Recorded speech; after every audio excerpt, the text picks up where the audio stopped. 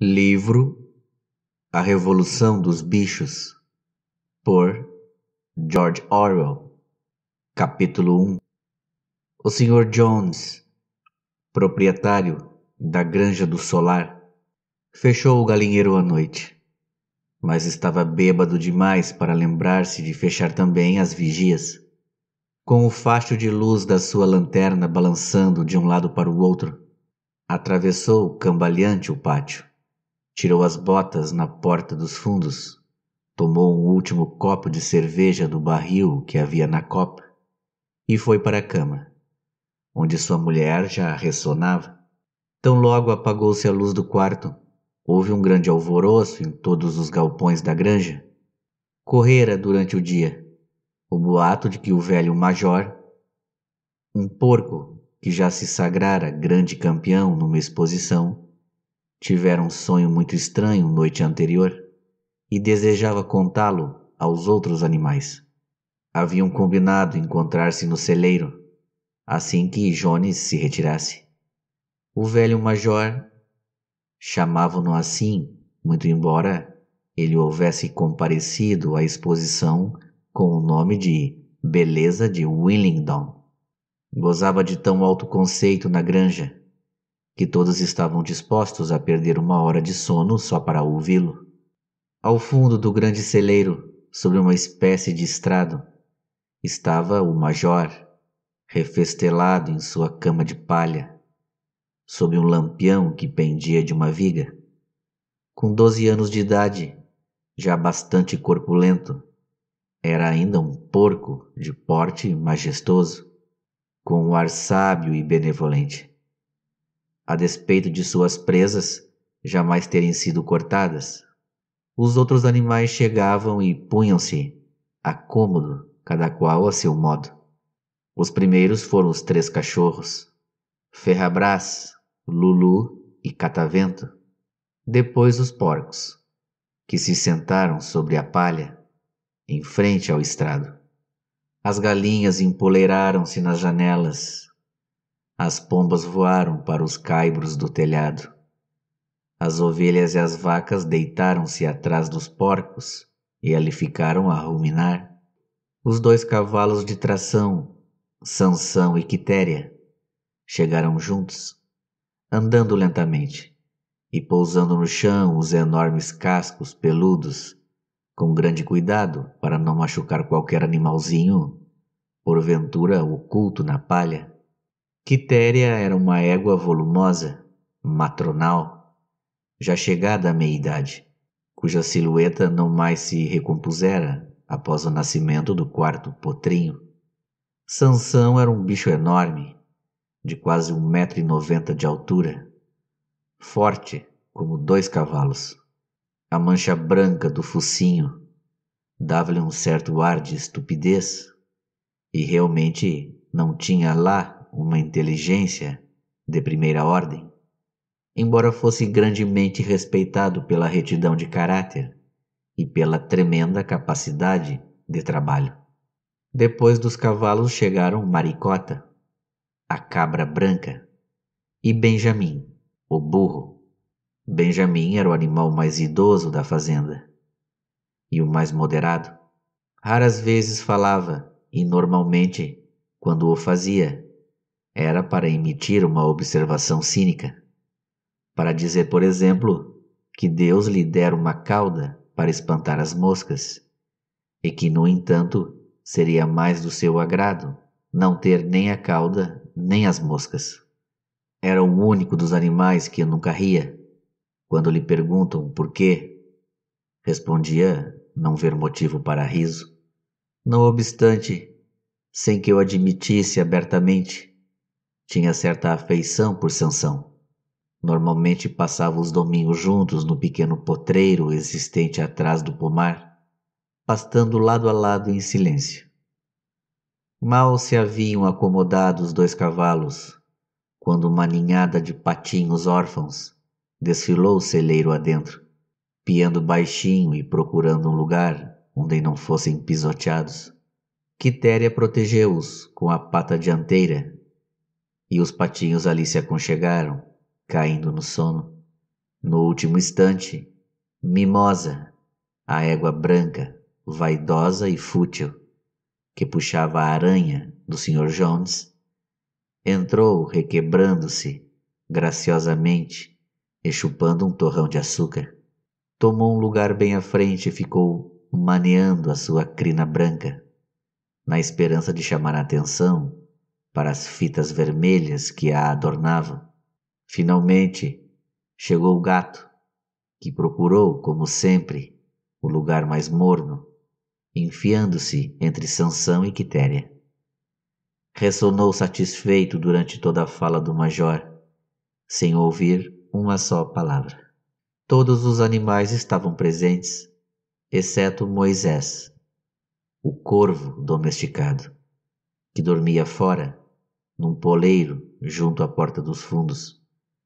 Quando o major os viu bem acomodados e aguardando atentamente, limpou a garganta e começou: Camaradas, já ouvistes, por certo, algo a respeito do estranho sonho que tive a noite passada.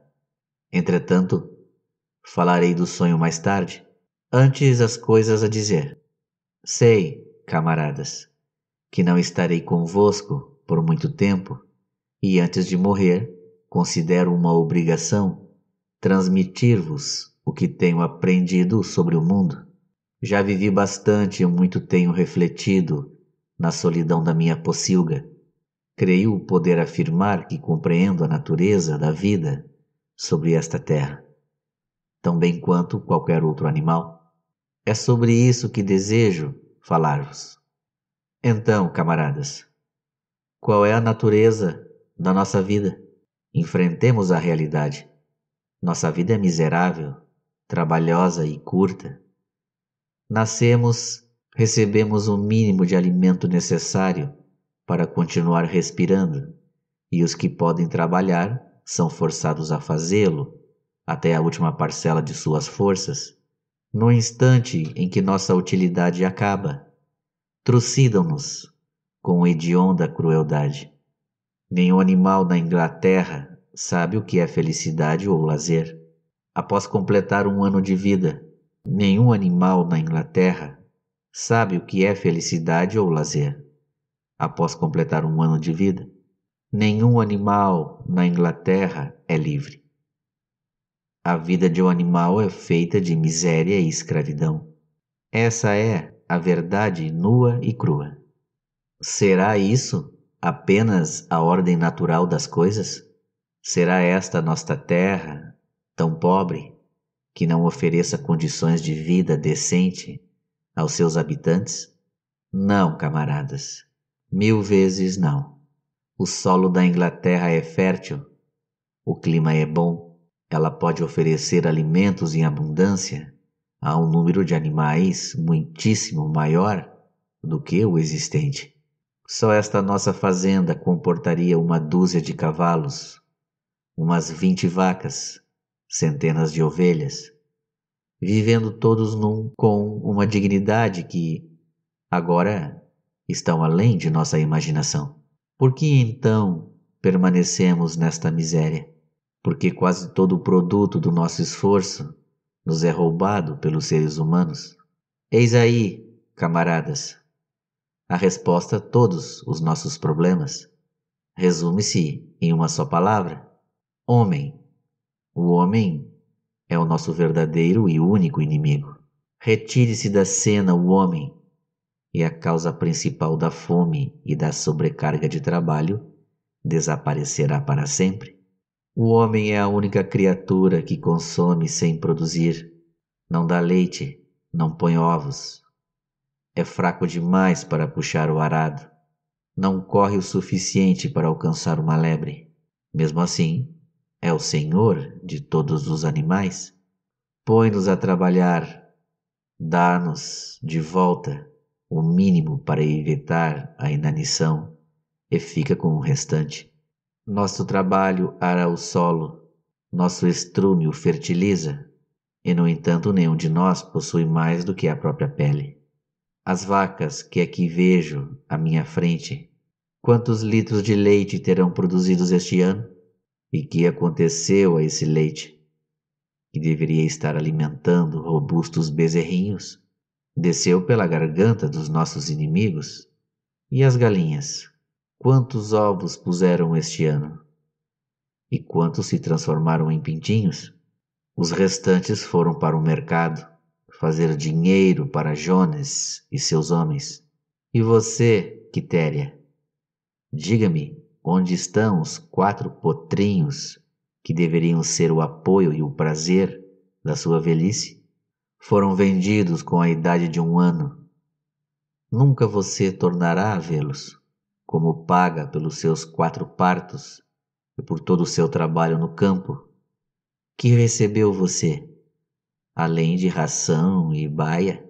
Mesmo miserável como é, nossa vida não chega ao fim de modo natural. Não me queixo por mim que tive até muita sorte. Estou com 12 anos e sou pai de mais de 400 porcos. Isto é a vida normal de um varrão. Mas, no fim, nenhum animal escapa ao cutelo.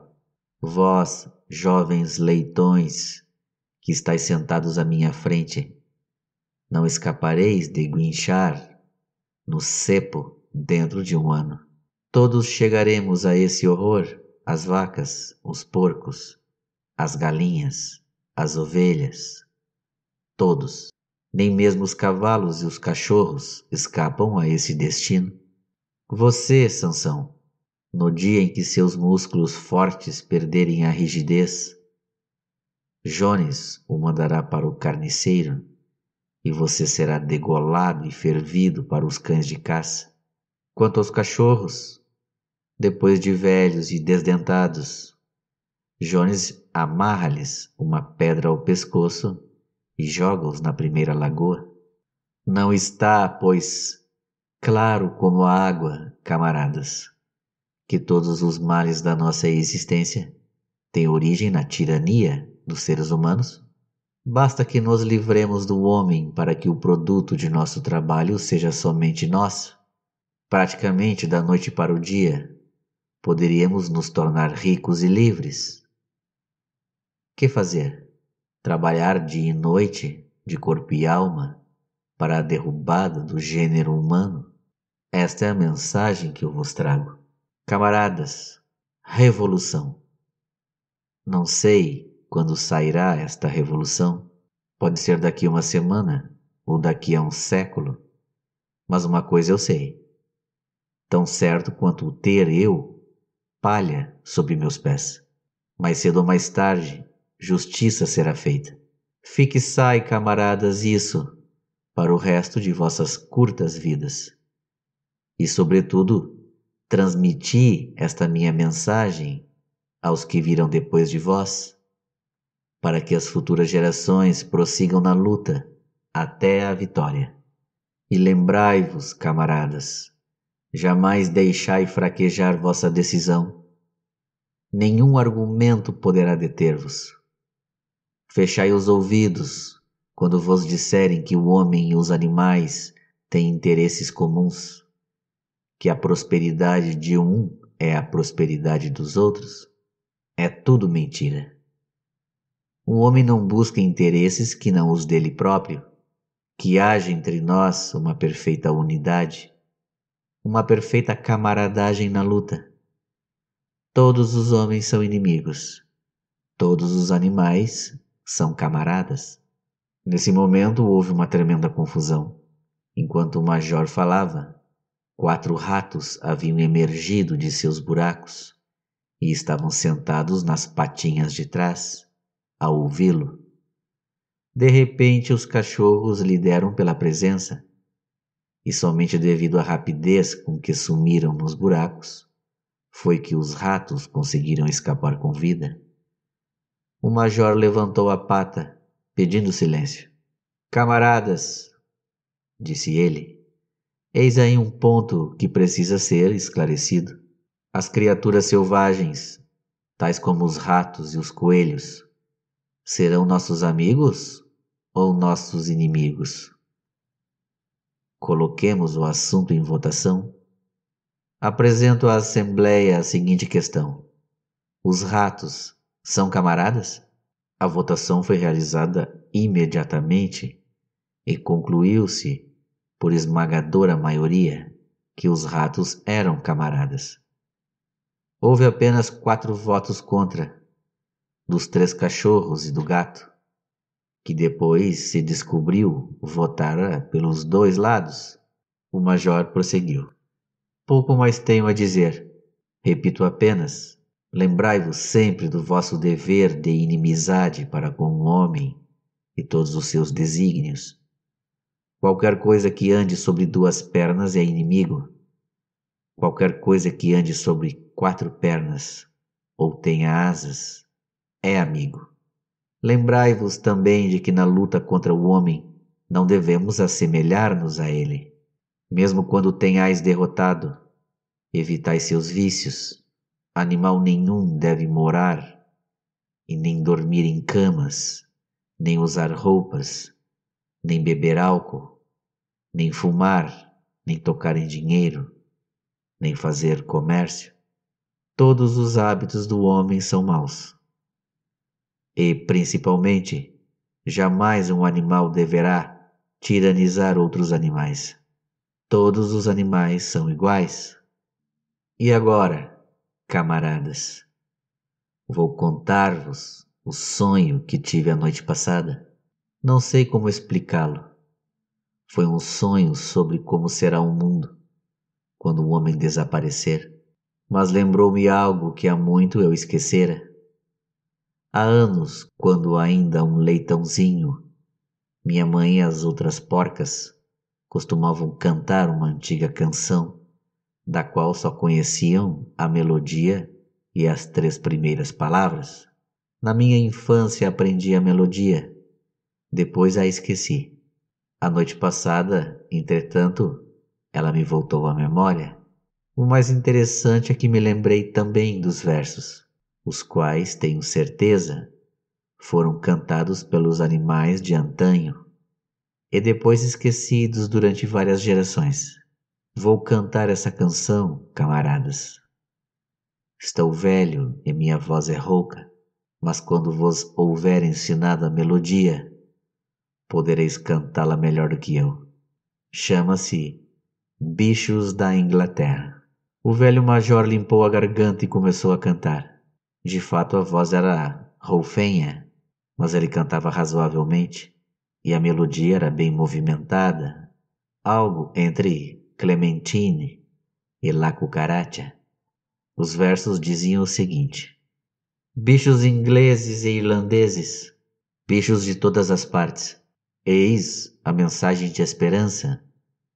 No futuro que virá, cedo ou tarde virá o dia, cairá a tirania, e os campos todos da Inglaterra só aos bichos caberão não mais argolas em nossas ventas, dorsos livres dos arreios, freios e esporas descartados, chicotadas abolidas.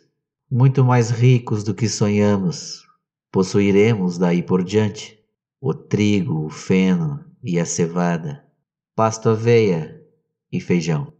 Brilhamos campos da Inglaterra, águas puras rolarão, ventos leves soprarão, saudando a redenção. Lutemos todos por esse dia, mesmo que nos custe a vida. Cavalos, vacas, perus e gansos, liberdade conquistemos. Bichos ingleses e irlandeses, bichos de todas as partes, no futuro que virá. O canto levou os animais à mais extrema excitação. Antes de o major chegar ao fim, já haviam começado a cantar por conta própria. Até os mais estúpidos pegaram a melodia e algumas palavras. Os mais espertos, como os porcos e os cachorros, decoraram a canção em poucos minutos. Então, depois de alguns ensaios preliminares, toda a granja atacou os bichos da Inglaterra, em formidável uníssono. As vacas mugiam a canção e os cachorros latiam-na. As ovelhas baliam-na, os cavalos relinchavam-na, os patos grasnavam-na. Tal foi o enlevo que cantaram de ponta a ponta, cinco vezes sucessivamente, e teriam continuado a noite inteira se não fossem interrompidos. Infelizmente, o alarido acordou Jones, que pulou da cama, certo de que havia raposa no pátio. Deu de mão na espingarda, sempre pronta a um canto do quarto, e descarregou-a na escuridão. O chumbo foi encravar-se na parede do celeiro, e a reunião dispersou-se num abrir e fechar de olhos.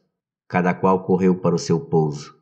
As aves saltaram para os poleiros. O gado deitou-se na palha, e em poucos instantes toda a fazenda dormia.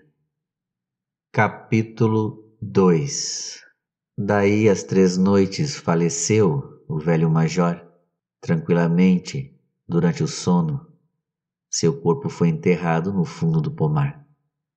Começava o mês de março. Durante os três meses seguintes, houve uma intensa atividade secreta. As palavras do major haviam dado uma perspectiva de vida inteiramente nova aos animais de maior inteligência da granja. Não sabiam quando teria lugar a revolução prevista pelo major nem tinham razões para acreditar que fosse durante a existência deles próprios, mas percebiam claramente o dever de prepararem-se para ela. A tarefa de instruir e organizar os outros recaiu naturalmente sobre os porcos, reconhecidamente os mais inteligentes entre os animais.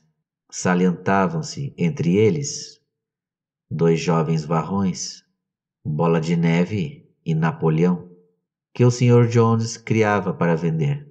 Napoleão era um cachaço Berkshire de aparência ameaçadora, o único Berkshire da fazenda, pouco falante, mas com a reputação de possuir grande força de vontade. Bola de Neve era mais ativo do que Napoleão, de palavra mais fácil e mais imaginoso, porém não gozava da mesma reputação quanto à solidez do caráter. Todos os demais porcos da fazenda eram castrados. Dentre estes, o mais conhecido era Porquinho Gordo, chamado Garganta, de bochechas redondas, olhos sempre piscando, movimentos lépidos e voz aguda. Manejava a palavra com brilho e, quando discutia algum ponto mais difícil, tinha o hábito de dar pulinhos de um lado para o outro e abanar o rabicho, o que era assaz persuasivo. Diziam que Garganta era capaz de convencer que o preto era branco. Esses três haviam organizado os ensinamentos do Major num sistema de pensamento, a que deram o nome de animalismo. Várias noites por semana, depois que Jones dormia, realizavam reuniões secretas no celeiro e expunham aos outros os princípios do animalismo. De início, encontraram certa apatia e muita estupidez. Alguns animais mencionaram o dever de lealdade para com Jones, a quem se referiu como o dono, ou fizeram comentários elementares do tipo: Seu Jones nos alimenta se ele fosse embora, nós morreríamos de fome. Outros faziam perguntas como: Que nos importa o que acontecerá depois da nossa morte? Ou se essa revolução vai ocorrer de qualquer maneira? Que diferença faz trabalharmos por ela ou não? E os porcos enfrentavam grandes dificuldades para fazê-los ver que isso era contrário ao espírito do animalismo. As perguntas mais estúpidas eram sempre as da mimosa e égua branca. A primeira pergunta que fez a bola de neve foi: Continuará havendo açúcar depois da revolução? Não, respondeu Bola de Neve, firmemente. Não dispomos de meios para obter açúcar nesta fazenda. Além disso, você não necessita de açúcar mas terá a aveia e o feno que quiser. E eu ainda poderei usar laços de fita na crina? perguntou Mimosa. Camarada, explicou o Bola de Neve. Essas fitas que você tanto estima são o distintivo da escravidão. Será que você não compreende que liberdade vale mais do que laços de fita? Mimosa sempre concordava, mas não dava a impressão de estar lá muito convencida. Muito mais ainda lutaram os porcos para neutralizar as mentiras espalhadas por Moisés, o corvo doméstico.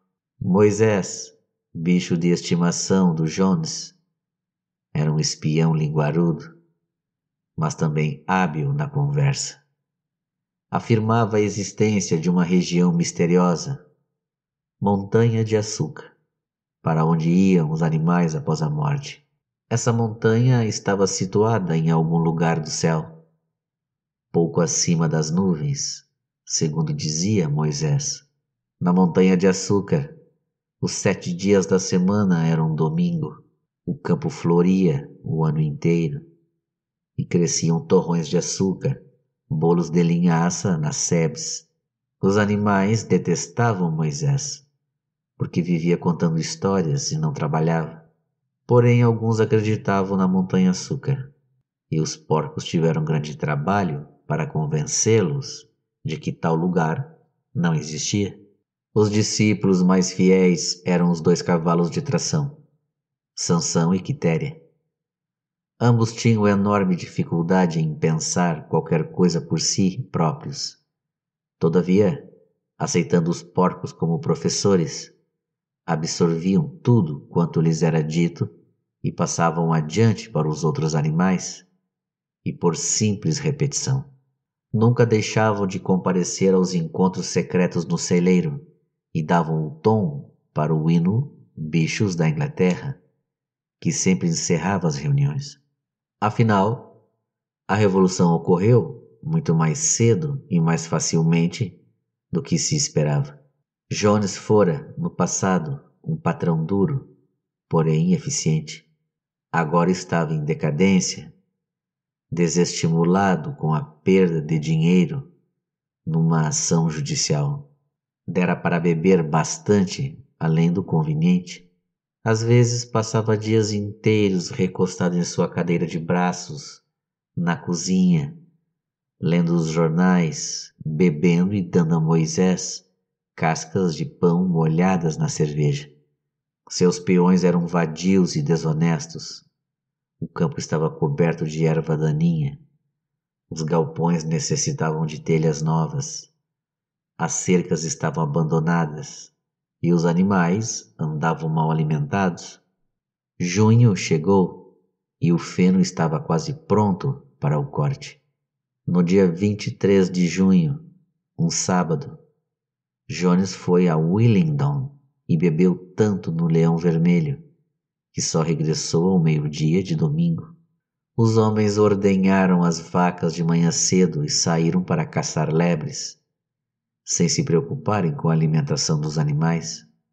Ao voltar, Jones foi dormir no sofá da sala, com o News of the World sobre o rosto. Portanto, ao cair da tarde, os animais ainda não haviam comido. Aquilo foi insuportável. Uma das vacas rebentou as chifradas à porta do depósito e os bichos avançaram sobre o alimento. Nesse momento, Jones acordou. Num instante, ele e seus homens estavam no depósito, com os chicotes na mão, batendo a torta e a direito. Isso ultrapassou a tudo quanto os animais famintos podiam suportar. De comum acordo, muito embora nada tivesse sido anteriormente planejado, lançaram-se sobre seus verdugos. Jones e os homens viram-se de repente marrados e escoiciados por todos os lados. A situação lhes fugira ao controle. Jamais haviam visto os animais portarem-se daquela maneira, e a súbita revolta de criaturas a quem estavam acostumados a surrar e maltratar, à vontade, apavorou-os. Em poucos instantes desistiram de defender-se e deram-o fora. Um minuto depois, os cinco voavam pela trilha rumo à estrada principal, com os bichos a persegui-los triunfantes. A mulher de Jones Olhou pela janela do quarto, viu o que acontecia. Reuniu às pressas alguns haveres dentro de uma bolsa de pano e escapuliu da granja por outro caminho. Moisés levantou o voo do poleiro e bateu asas atrás dela, grasnando ruidosamente. Enquanto isso, os bichos haviam posto Jones e os peões para fora da granja, fechando atrás deles a porteira das cinco barras. E assim, antes de perceberem o que sucedera, a revolução estava feita. Jones foi expulso e a granja do solar era deles. Durante os primeiros cinco minutos, os animais mal puderam acreditar na sorte. Seu primeiro ato foi galopar pelos limites da granja, como para verificar se nenhum ser humano ficara escondido. Depois correram de volta às casas da granja para varrer os últimos vestígios do odiado império de Jones. O galpão dos arreios, no fundo dos estábulos, foi arrombado. Freios, argolas de nariz, correntes de cachorro, as cruéis facas com que Jones castrava os porcos e os cordeiros. Foi tudo atirado ao fundo do poço. As rédeas, os cabrestos, os antolhos e os degradantes bornais foram jogados à fogueira que ardia no pátio. Destino idêntico tiveram os relhos. Os bichos pulavam de contentamento ao verem os chicotes em chamas. Bola de Neve jogou também ao fogo as fitas que usualmente enfeitavam as crinas e caudas dos cavalos em dias de feira. Fitas, disse ele, devem ser consideradas roupas que são distintivo do ser humano. Todos os animais devem andar nus.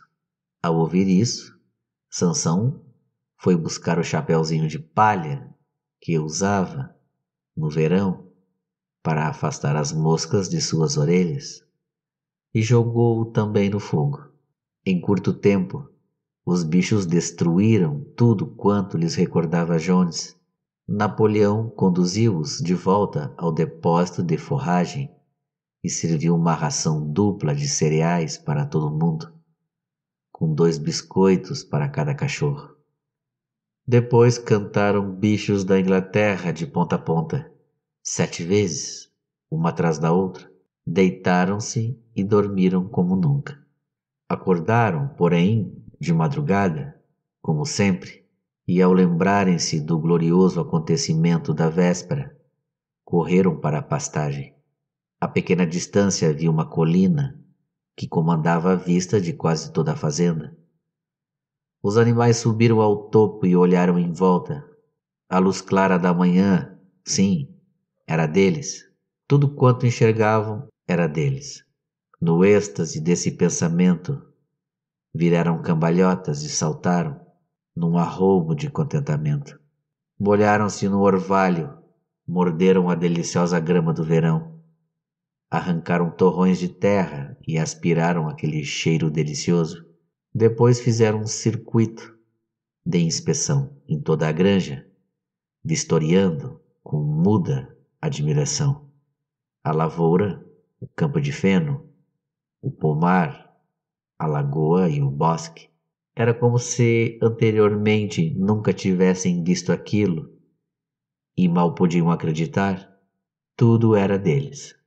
Voltaram então para as casas da granja e pararam silenciosos junto à porta da casa grande. Era deles também, mas sentiram um certo receio de entrar.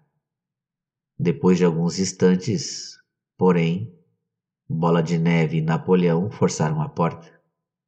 E os animais entraram, em fila, caminhando com o maior cuidado para não desarrumar nada andaram na ponta dos pés, de um aposento para o outro, falando baixinho e olhando com certa reverência o luxo inacreditável.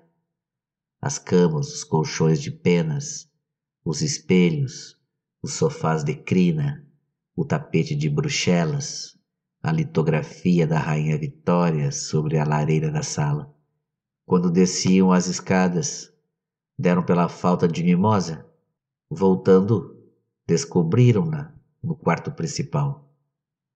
Havia apanhado no toucador da senhora Jones um pedaço de fita azul e segurava-o contra a espada. Admirando-se no espelho, com trejeitos ridículos, repreenderam-na acerbamente e saíram todos. Alguns presuntos, pendurados na cozinha, foram levados para fora e enterrados. O barril de cerveja da copa foi rebentado com um coice de sanção. Além disso, nada mais foi tocado na casa. Ali mesmo foi aprovada por unanimidade a resolução de conservá-la como museu. Concordaram em que nenhum animal jamais deveria habitá-la. Os bichos tomaram a refeição matinal e foram outra vez convocados por Bola de Neve e Napoleão. Camaradas, disse Bola de Neve, seis e quinze, e temos um longo dia pela frente. Iniciaremos hoje a colheita do feno. Mas antes, há um outro assunto para tratarmos. Os porcos revelaram que durante os últimos três meses haviam aprendido a ler e escrever. Num velho livro de ortografia dos filhos de Jones, que fora jogado no lixo, Napoleão mandou buscar latas de tinta preta e branca e conduziu-os até a porteira das cinco barras, que dava para a estrada principal. Então Bola de Neve que era quem escrevia melhor, pegou o pincel entre as juntas da pata, apagou o nome Granja do Solar do travessão superior e em seu lugar escreveu Granja dos Bichos. Seria esse o nome da granja daquele momento em diante. Depois disso, voltaram para as casas da granja. Bola de Neve e Napoleão mandaram buscar uma escada e ordenaram que fosse encostada à parede do fundo do celeiro grande. Explicaram que, segundo os estudos que haviam feito nos últimos três meses, era possível resumir os princípios do animalismo em sete mandamentos.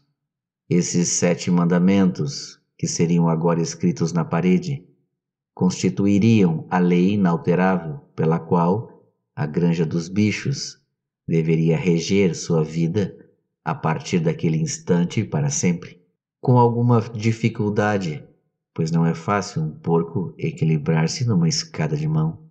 Bola de Neve subiu e começou a trabalhar, enquanto Garganta, alguns degraus abaixo, segurava a lata de tinta. Os mandamentos foram escritos na parede, alcatroada em grandes letras brancas, que podiam ser lidas a muitos metros de distância. Eis o que dizia o letreiro: Os Sete Mandamentos. Primeiro, qualquer coisa que ande sobre duas pernas é inimigo. Segundo, qualquer coisa que ande sobre quatro pernas ou tenha asas é amigo. Terceiro, nenhum animal usará roupas. Quarto, nenhum animal dormirá em cama. Quinto, nenhum animal beberá álcool. Sexto, nenhum animal matará outro animal. E sétimo, todos os animais são iguais. Estava tudo muito bem escrito, com exceção da palavra álcool, que foi escrita álcool, e de um dos S's, que foi desenhado ao contrário. O conjunto ficou bastante bom, e Bola de Neve leu em voz alta para os demais. Todos os animais balançaram a cabeça de pleno acordo, e os mais vivos começaram imediatamente a decorar os mandamentos. E agora, camaradas, disse Bola de Neve, deixando cair o pincel ao campo de feno. É uma questão de honra realizar a colheita em menos tempo do que Jones e seus homens. Nesse momento, porém, as vacas que já vinham dando sinais de inquietação, começaram a mugir. Havia vinte e quatro horas que não eram ordenhadas e estavam com os úberes quase estourando. Depois de alguma reflexão, os porcos pediram baldes e ordenharam as vacas com relativo êxito, pois seus cascos adaptavam-se bem à tarefa. Em breve obtinham cinco baldes de um leite espumante cremoso, que muitos bichos olharam com considerável interesse. Que vamos fazer com esse leite? perguntou alguém. Jones às vezes misturava um pouco ao nosso farelo, disse uma galinha. Não se preocupe com o leite, camaradas, gritou Napoleão, postando-se à frente dos baldes. Nós trataremos desse assunto. A colheita é mais importante. O camarada Bola de Neve os conduzirá. Eu seguirei dentro de alguns minutos. Avante, camaradas. O feno está à espera. Os animais marcharam rumo ao campo de feno para o início da colheita. E quando voltaram à tardinha, notaram que o leite havia desaparecido. Capítulo 3 E como trabalharam para juntar aquele feno, mas o esforço foi recompensado, pois a colheita deu um resultado muito melhor do que esperavam. Por vezes a tarefa foi dura. Os implementos destinavam-se ao uso de seres humanos, e foi uma enorme desvantagem o fato de nenhum bicho poder utilizar ferramentas que exigissem a posição em pé sobre as patas traseiras. Mas os porcos eram tão imaginosos que conseguiram contornar todas as dificuldades. Os cavalos conheciam cada palmo do terreno e, na realidade, sabiam ceifar e raspar muito melhor do que Jones e os empregados. Os porcos não trabalhavam, propriamente, mas dirigiam e supervisionavam o trabalho dos outros donos de conhecimentos maiores, era natural que assumissem a liderança. Sansão e Quitéria atrelavam-se à ceifadeira ou à grade. Naturalmente não havia mais necessidade de freios e rédeas, e andavam pelo campo para lá e para cá, com um porco atrás gritando: Eia, camarada! Ou A volta, agora, camarada! Conforme o caso. E cada animal, até os mais modestos, trabalhou para colher e juntar o feno. Até os patos e as galinhas andavam o dia inteiro sob o sol, carregando no bico pequeninos feixes de feno. Enfim, terminaram a colheita dois dias antes do tempo que Jones e seus empregados normalmente levavam. Mas, além disso, foi a maior colheita que jamais se realizara ali. Não houve qualquer desperdício. As galinhas e os patos, com sua vista penetrante, juntaram até o menor talinho, e nenhum animal na granja roubou sequer uma bocada. Durante todo aquele verão, o trabalho da granja andou como um relógio, os bichos felizes como nunca. Cada bocado de comida constituía um extremo prazer agora que a comida era realmente deles, produzida por eles e para eles, em vez de distribuída em pequenas quantidades por um dono cheio de má vontade. Ausentes os inúteis parasitas humanos, mas sobrava para cada um. Havia também mais lazer, muito embora os animais fossem inexperientes nisso. Encontraram muitas dificuldades. Por exemplo, no fim do ano, quando colheram os cereais, foram obrigados a pisá-los, à moda antiga, e soprar as cascas, pois a granja não possuía uma debulhadeira, mas os porcos, com a inteligência, e Sansão, com seus músculos fantásticos, sobrepujavam-nas. Sansão era admiração de todos. Já era trabalhador no tempo de Jones, agora como que valia por três. Dias Houve em que todo o trabalho da granja parecia recair sobre seus fortes ombros. De manhã à noite lá estava ele, puxando e empurrando, sempre no lugar onde o trabalho era mais pesado. Fizeram um trato com um dos galos para ser chamado meia hora mais cedo que os demais, todas as manhãs, e empregava esse tempo em trabalho voluntário, no que parecesse mais necessário. Sua solução para cada problema, para cada contratempo, era trabalharei mais ainda, frase que adotara como seu lema particular. Cada qual trabalhava de acordo com sua capacidade. As galinhas e os patos, por exemplo, economizaram cinco baldes de trigo na colheita, juntando os grãos extraviados. Ninguém roubava, ninguém resmungava a respeito das rações. A discórdia, as mordidas, o ciúme, coisas normais nos velhos tempos, tinham quase desaparecido. Ninguém se esquivava ao trabalho, ou quase ninguém. É bem verdade que Mimosa não gostava de levantar cedo e costumava abandonar o trabalho antes dos demais, sob o pretexto de estar com uma pedra encravada no casco. E o comportamento do gato era um tanto estranho. Em seguida, notou-se que ele nunca podia ser encontrado quando havia trabalho por fazer.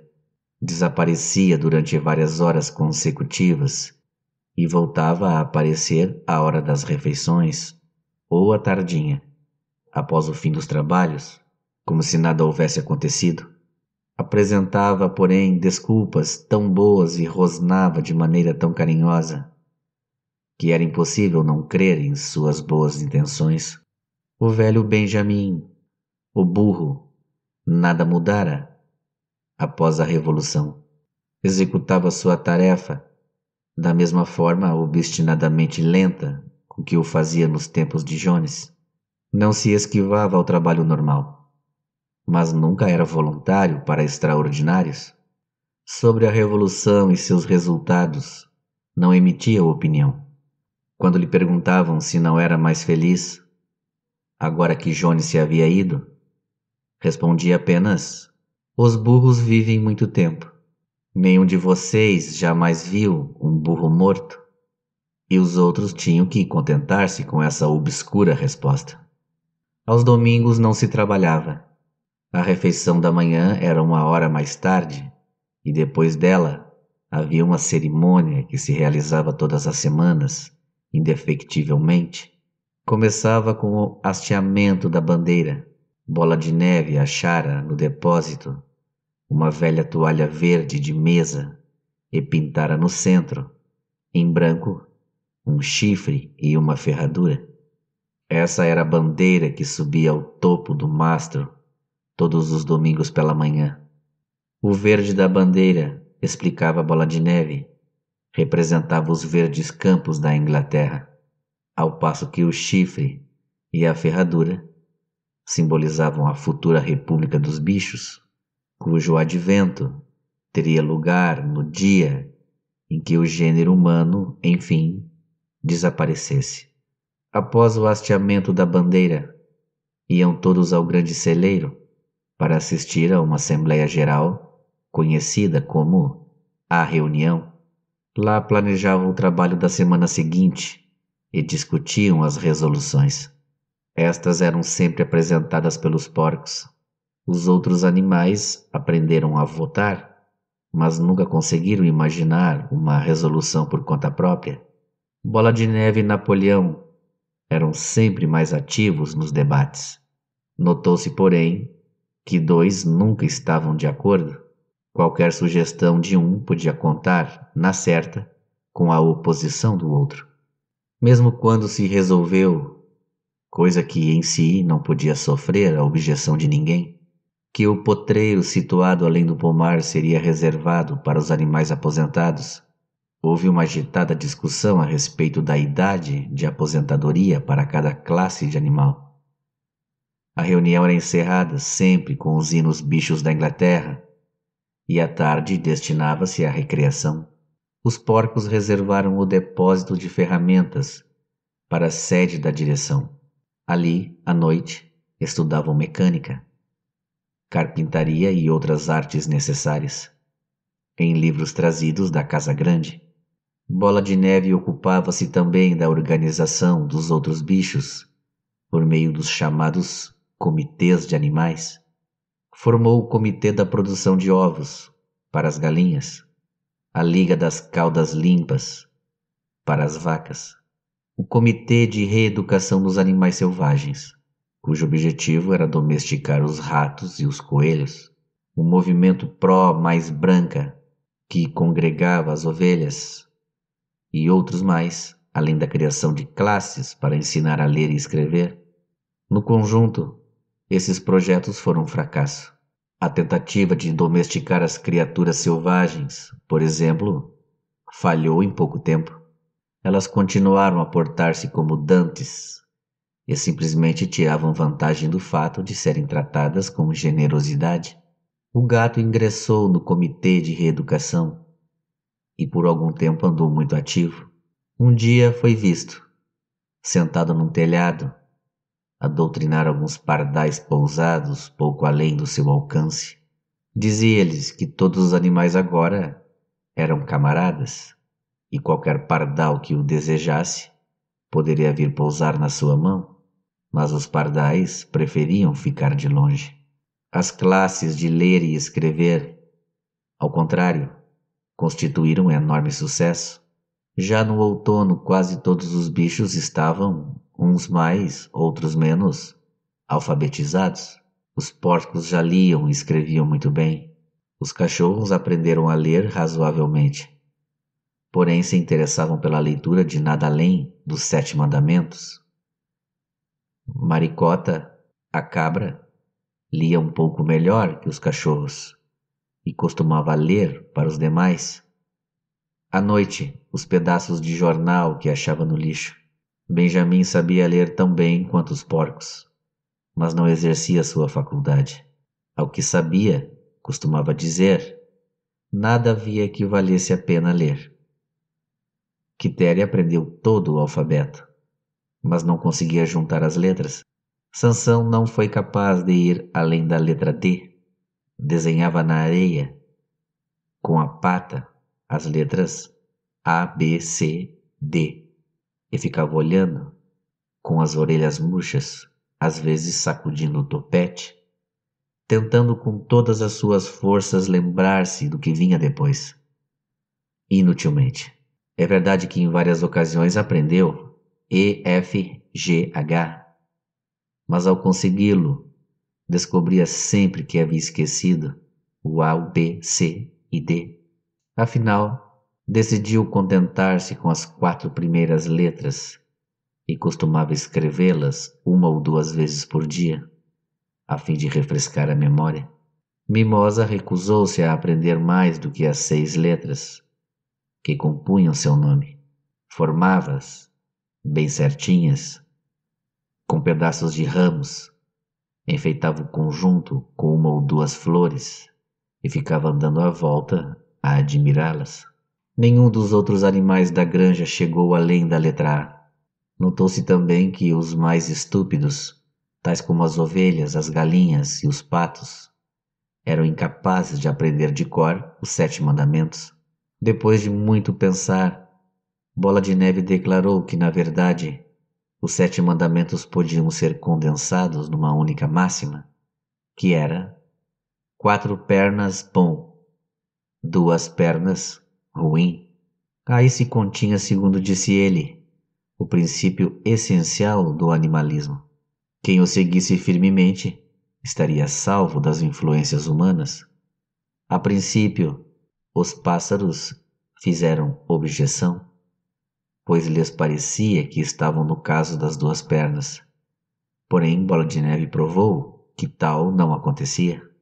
A asa de uma ave, camaradas, é um órgão de propulsão e não de manipulação. Deveria ser olhada mais como uma perna. O que distingue o homem a mão, o instrumento que o perpetra toda sua maldade. As aves não compreenderam as palavras de Bola de Neve, mas aceitaram a explicação. E os bichos mais modestos dedicaram-se a aprender de cor a nova máxima: quatro pernas bom, duas pernas ruim e que foi escrita na parede do fundo do celeiro, acima dos sete mandamentos, e com letras bem maiores. Depois que conseguiram decorá-la, as ovelhas tomaram-se de uma enorme predileção por essa máxima e frequentemente deitadas na relva, ficavam a balir. Quatro pernas bom, duas pernas ruim. Quatro pernas bom, duas pernas ruim. Durante horas a fio. Napoleão não tomou interesse algum pelos comitês de bola de neve. Dizia que a educação dos jovens era mais importante do que qualquer coisa em favor dos adultos. Aconteceu que Lulu e Ferrabras deram cria, logo após a colheita de feno, a nove robustos cachorrinhos. Tão logo foram desmamados, Napoleão tirou-os de suas mães, dizendo que ele próprio se responsabilizaria por sua educação. Levou-os para um sótão que só podia ser atingido pela escada do depósito, e os manteve em tal reclusão que o resto da fazenda logo se esqueceu de sua existência. O mistério do leite, pronto, se esclareceu. Era misturado à comida dos porcos. As maçãs estavam amadurecendo e a grama do pomar cobria-se de frutas derrubadas pelo vento. Os bichos tinham como certo que as frutas deveriam ser distribuídas equitativamente. Certo dia, porém, chegou a ordem para que todas as frutas caídas fossem recolhidas e levadas ao depósito das ferramentas para consumo dos porcos. Alguns bichos murmuraram a respeito, mas foi inútil. Os porcos estavam todos de acordo sobre esse ponto até mesmo Bola de Neve e Napoleão. Garganta foi enviado aos outros para dar explicações. Camaradas, gritou, não imaginais, suponho, que nós, os porcos, fazemos isso por espírito de egoísmo e privilégio. Muitos de nós até nem gostamos de leite de maçã. Eu, por exemplo, não gosto. Nosso único objetivo ao ingerir essas coisas é preservar nossa saúde. O leite e a maçã, está provado pela ciência, camaradas, contém substâncias absolutamente necessárias à saúde dos porcos. Nós, os porcos, somos trabalhadores intelectuais. A organização e a direção dessa granja repousam sobre nós. Dia e noite velamos por vosso bem-estar. É por vossa causa que bebemos aquele leite e comemos aquelas maçãs. Sabeis o que sucederia se os porcos falhassem em sua missão? Jones voltaria, com toda certeza. Camaradas, gritou Garganta, quase suplicante, dando pulinhos de um lado para outro e sacudindo o rabicho. Com toda certeza, não há dentre vós quem queira a volta de Jones.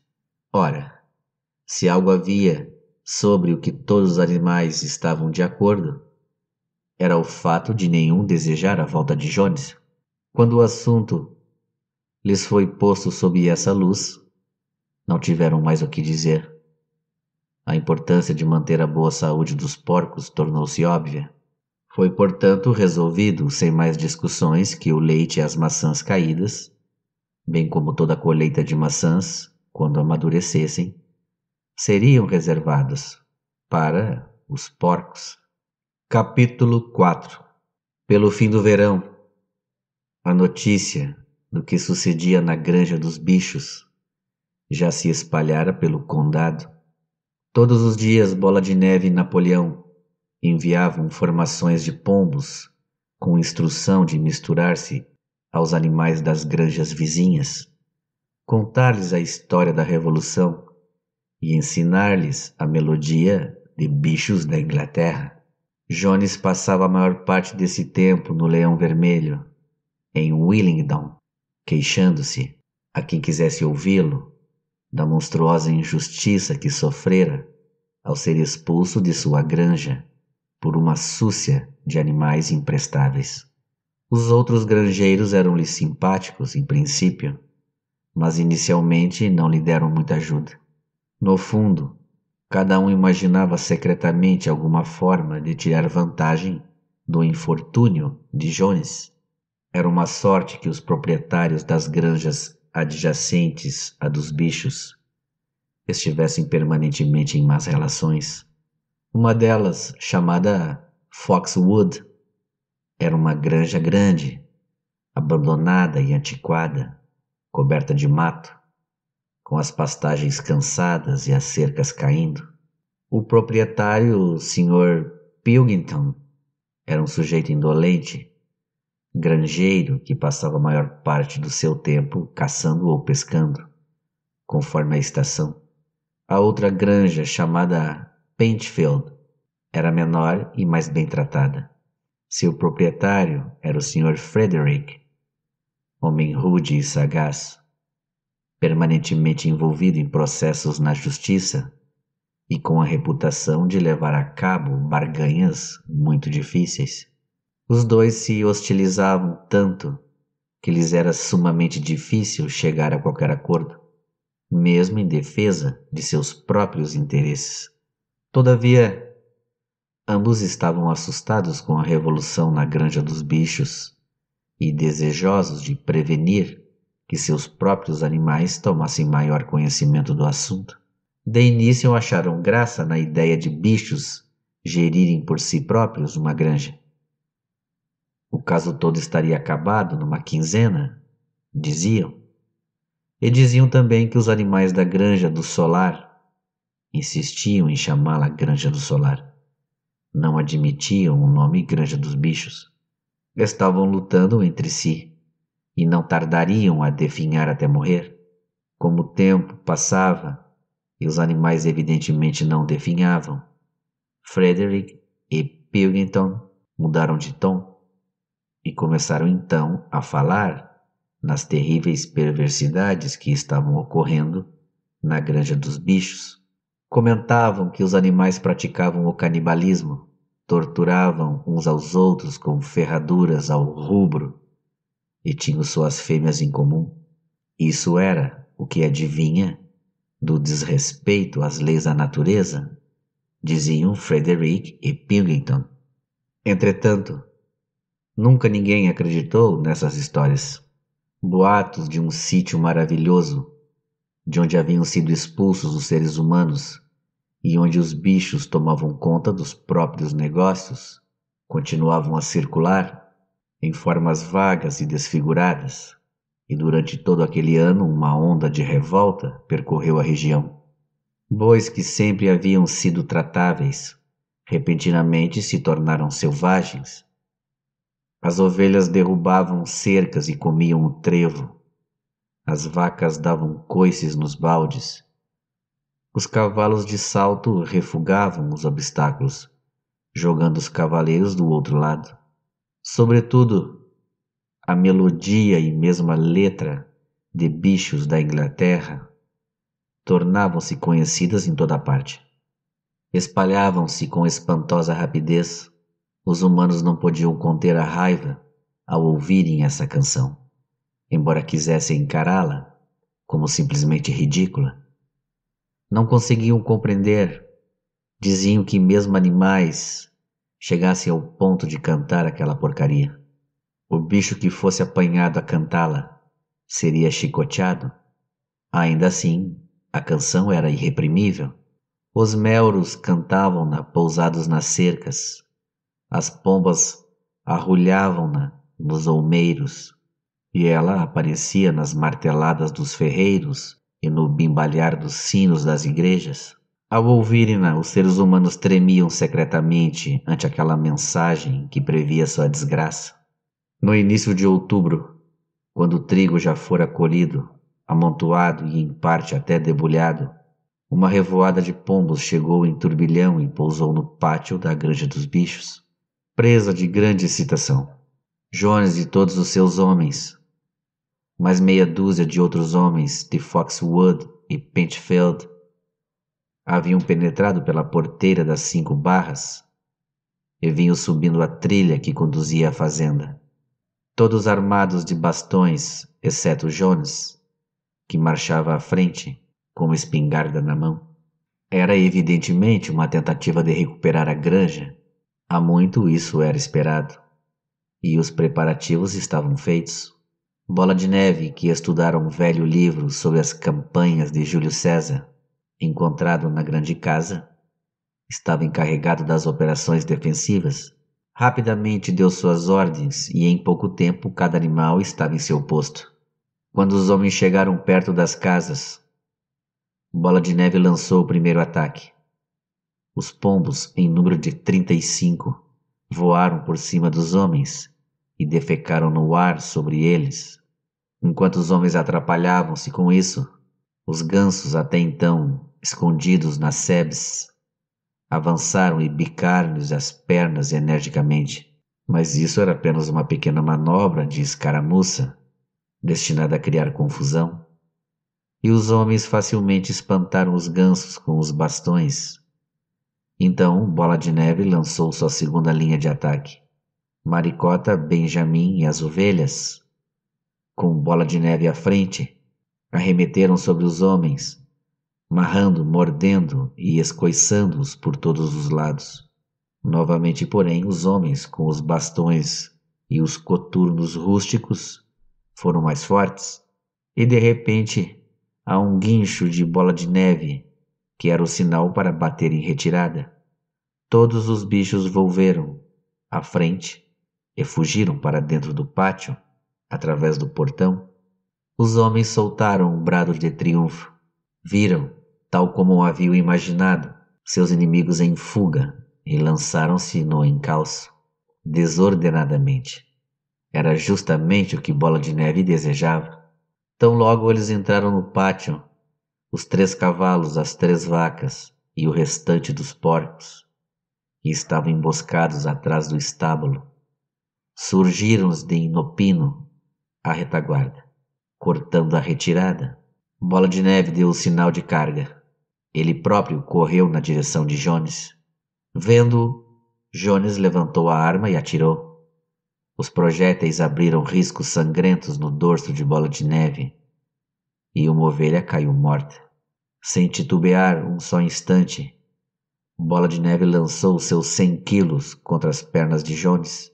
O homem foi jogado sobre um monte de esterco e a arma voou-lhe das mãos. Porém, o espetáculo mais terrível, entre tudo, era Sansão erguendo-se nos posteriores e dando manotaços com seus cascos ferrados, feito um garanhão.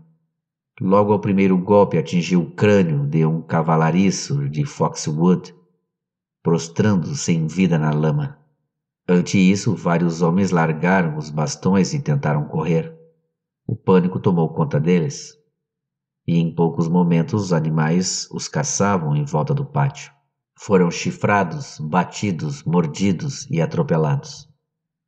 Não houve bicho da granja que não tirasse desforra, cada um à sua moda. Até o gato, inesperadamente, saltou de um telhado sobre as costas de um peão, cravando-lhe as unhas no pescoço e fazendo o homem dar um berro de dor. Em dado momento, desimpedida a saída, os homens conseguiram fugir do pátio e correram desabaladamente rumo à estrada principal. E assim, poucos minutos após a invasão, batiam em vergonhosa retirada pelo mesmo caminho da vinda, com uma multidão de gansos no seu encalço, bicando-lhes as pernas sem piedade.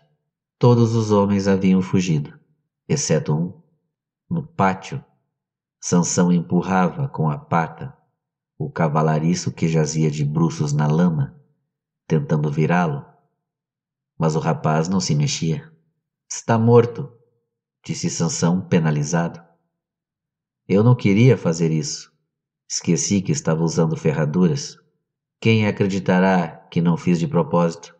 Nada de sentimentalismos, camarada, gritou Bola de Neve, de cujos ferimentos o sangue jorrava. Guerra é guerra, ser humano bom, ser humano morto.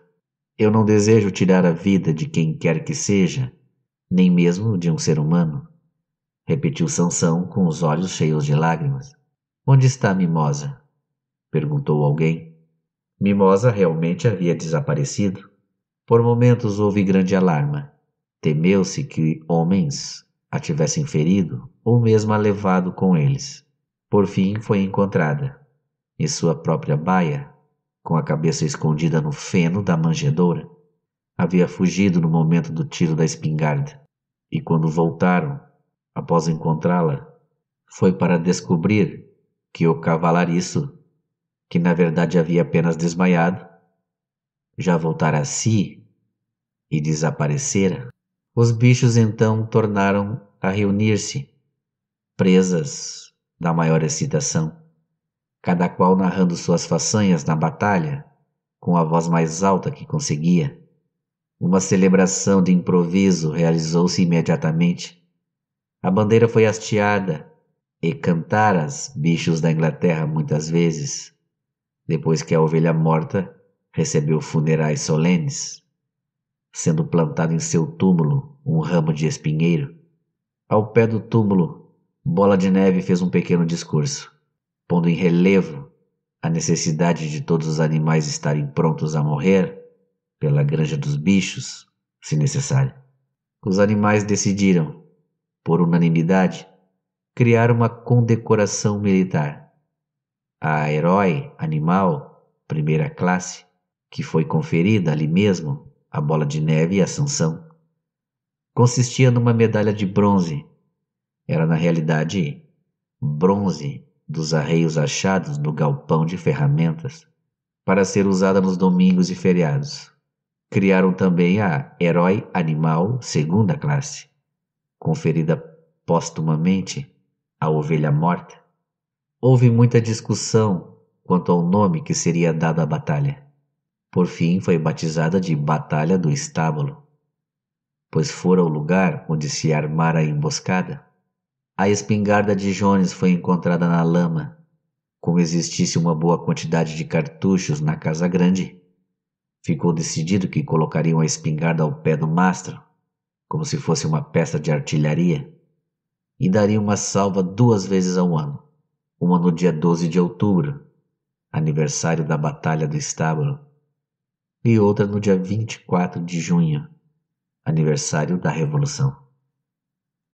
Capítulo 5 Com o passar do inverno, Mimosa tornava-se mais e mais importuna Todas as manhãs atrasava-se para o trabalho e desculpava-se dizendo que dormira demais.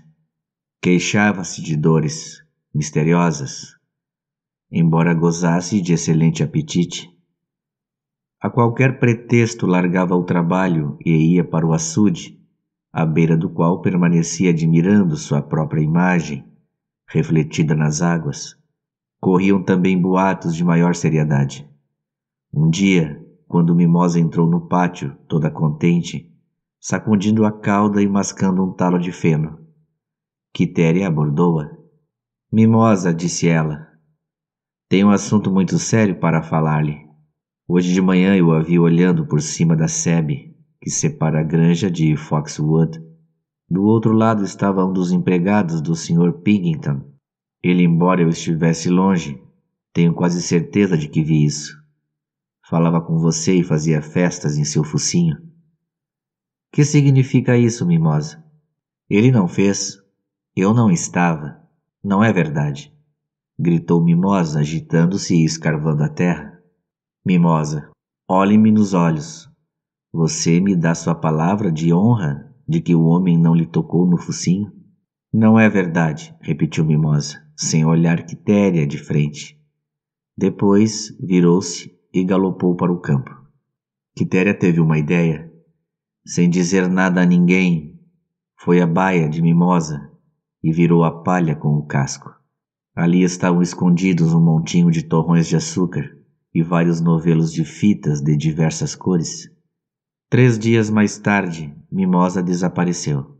Durante algumas semanas ninguém teve notícias de seu paradeiro, até que os pombos trouxeram um informe de que haviam visto na parte mais afastada de Willingdon, atrelada a uma bonita carroça vermelha e preta, em frente a uma estalagem, um homem gordo de rosto vermelho, calças xadrez e polaina, com todo o tipo de estalajadeiro, dava-lhe pancadinhas no focinho e oferecia-lhe torrões de açúcar. Seu pelo fora recentemente rasqueteado e ela usava uma fita escarlate no topete. Parecia muito satisfeita. Segundo disseram os pombos, os bichos nunca mais falaram em Mimosa. Em janeiro, o tempo piorou terrivelmente. A terra dura como ferro não permitia o trabalho no campo. Houve muitas reuniões no celeiro grande e os porcos passaram ao planejamento dos trabalhos a serem realizados na estação seguinte. Fora acertado que os porcos, sendo manifestamente mais inteligentes do que os outros animais, decidiriam todas as questões referentes à política agrícola da granja, embora suas decisões devessem ser ratificadas pelo voto da maioria. Essa combinação teria funcionado muito bem, não fossem as disputas entre Bola de Neve e Napoleão. Esses dois discordavam sobre todos os pontos em que a discordância era possível.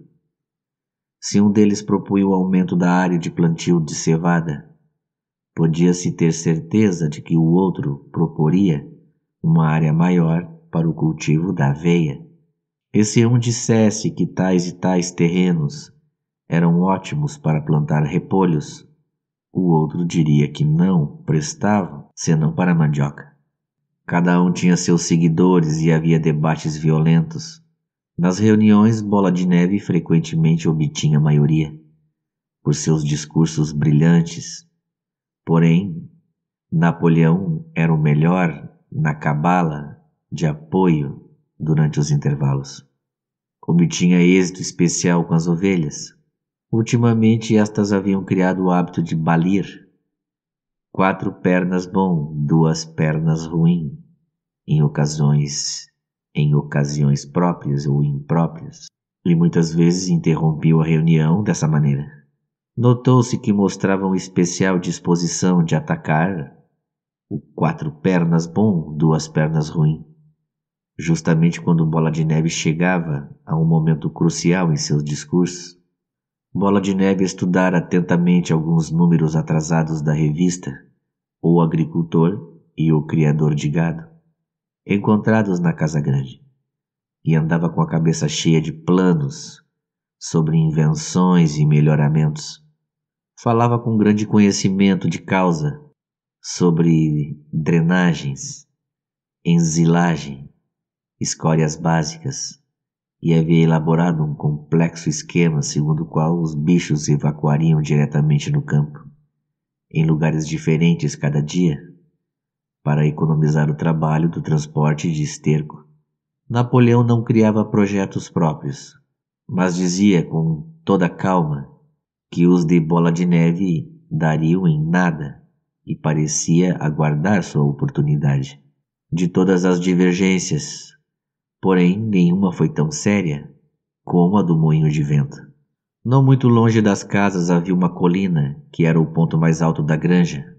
Depois de realizar uma pesquisa no solo, Bola de Neve declarou ser o local ideal para a construção de um moinho de vento, que poderia acionar um dínamo e suprir de energia elétrica toda a granja. As baias teriam luz elétrica e aquecimento no inverno. Haveria força para uma serra circular, para a moagem de cereais, para o corte da beterraba e para um sistema de ordenha elétrica.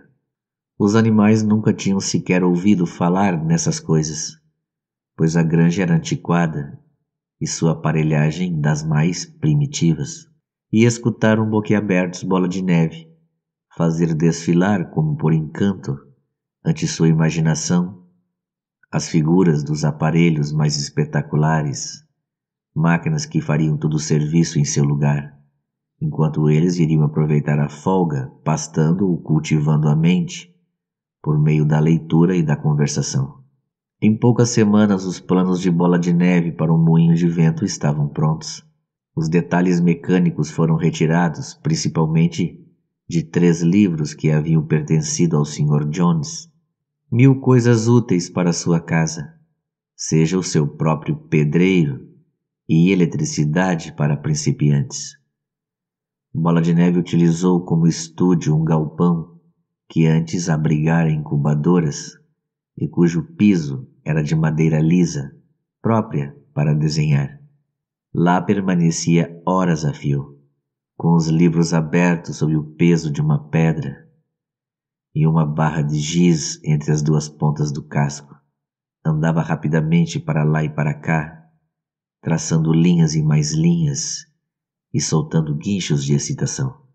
Gradualmente, os planos se transformaram numa complicada massa de manivelas e engrenagens que cobria quase metade do assoalho e que os outros animais achavam completamente ininteligível, mas impressionante. Pelo menos uma vez por dia, cada um vinha olhar os desenhos de bola de neve. Até as galinhas e os patos apareciam, pisando com grande dificuldade para não estragar os riscos de giz. Apenas Napoleão permaneceu desinteressado. Havia se declarado contra o moinho de vento desde o início. Um dia, entretanto, Chegou inesperadamente para examinar os planos. Caminhou pesadamente em volta do galpão, olhou detidamente cada detalhe do projeto, farejou uma ou duas vezes. Depois deteve-se a contemplá-lo por alguns instantes pelo canto dos olhos. Então, inesperadamente, levantou a pata, urinou sobre os planos e caminhou para fora sem proferir palavra. A granja estava profundamente dividida com respeito ao moinho de vento. Bola de Neve não negava que sua construção resultaria em uma empresa difícil. Seria necessário quebrar pedras e transformá-las em paredes. Depois construir as pás. Haveria necessidade de dínamos e fios. Onde seriam encontrados? Bola de Neve não dizia, mas afirmava que tudo poderia ser feito dentro de um ano. Depois disso, dizia, os bichos economizariam tanta energia que seriam necessários apenas três dias de trabalho por semana. Napoleão, por outro lado, argumentava que a grande necessidade do momento era aumentar a produção de alimentos e que morreriam de fome se perdessem tempo com o moinho de vento. Os animais dividiram-se em duas facções que se alinhavam sob os slogans: Vote em bola de neve e na semana de três dias, e vote em Napoleão e na manjedoura cheia. Benjamin foi o único animal que não aderiu a lado nenhum. Recusava-se a crer tanto em que haveria fartura de alimento, como em que o moinho de vento economizaria trabalho. Moinho ou não moinho, dizia ele, a vida prosseguiria como sempre fora, ou seja, mal. Além da disputa sobre o moinho de vento, havia o problema da defesa da granja. Eles bem sabiam que, embora os humanos tivessem sido derrotados na batalha do estábulo, poderiam fazer outra tentativa, mais reforçada, para retomar a granja e restaurar Jones tinham as melhores razões para tentar, pois a notícia da derrota se espalhara pela região e tornara os animais das granjas vizinhas mais rebeldes do que nunca. Como sempre, Bola de Neve e Napoleão não estavam de acordo. Segundo Napoleão, o que os animais deveriam fazer era conseguir armas de fogo e instruir-se no seu emprego. Bola de Neve achava que deveriam enviar mais e mais pombos e provocar a rebelião entre os bichos das outras granjas. O primeiro argumentava que, se não fossem capazes de defender-se, estavam destinados à submissão. O outro alegava que, fomentando revoluções em toda parte, não teriam necessidade de defender-se. Os animais ouviam Napoleão, depois Bola de Neve, e não chegavam à conclusão sobre quem tinha razão.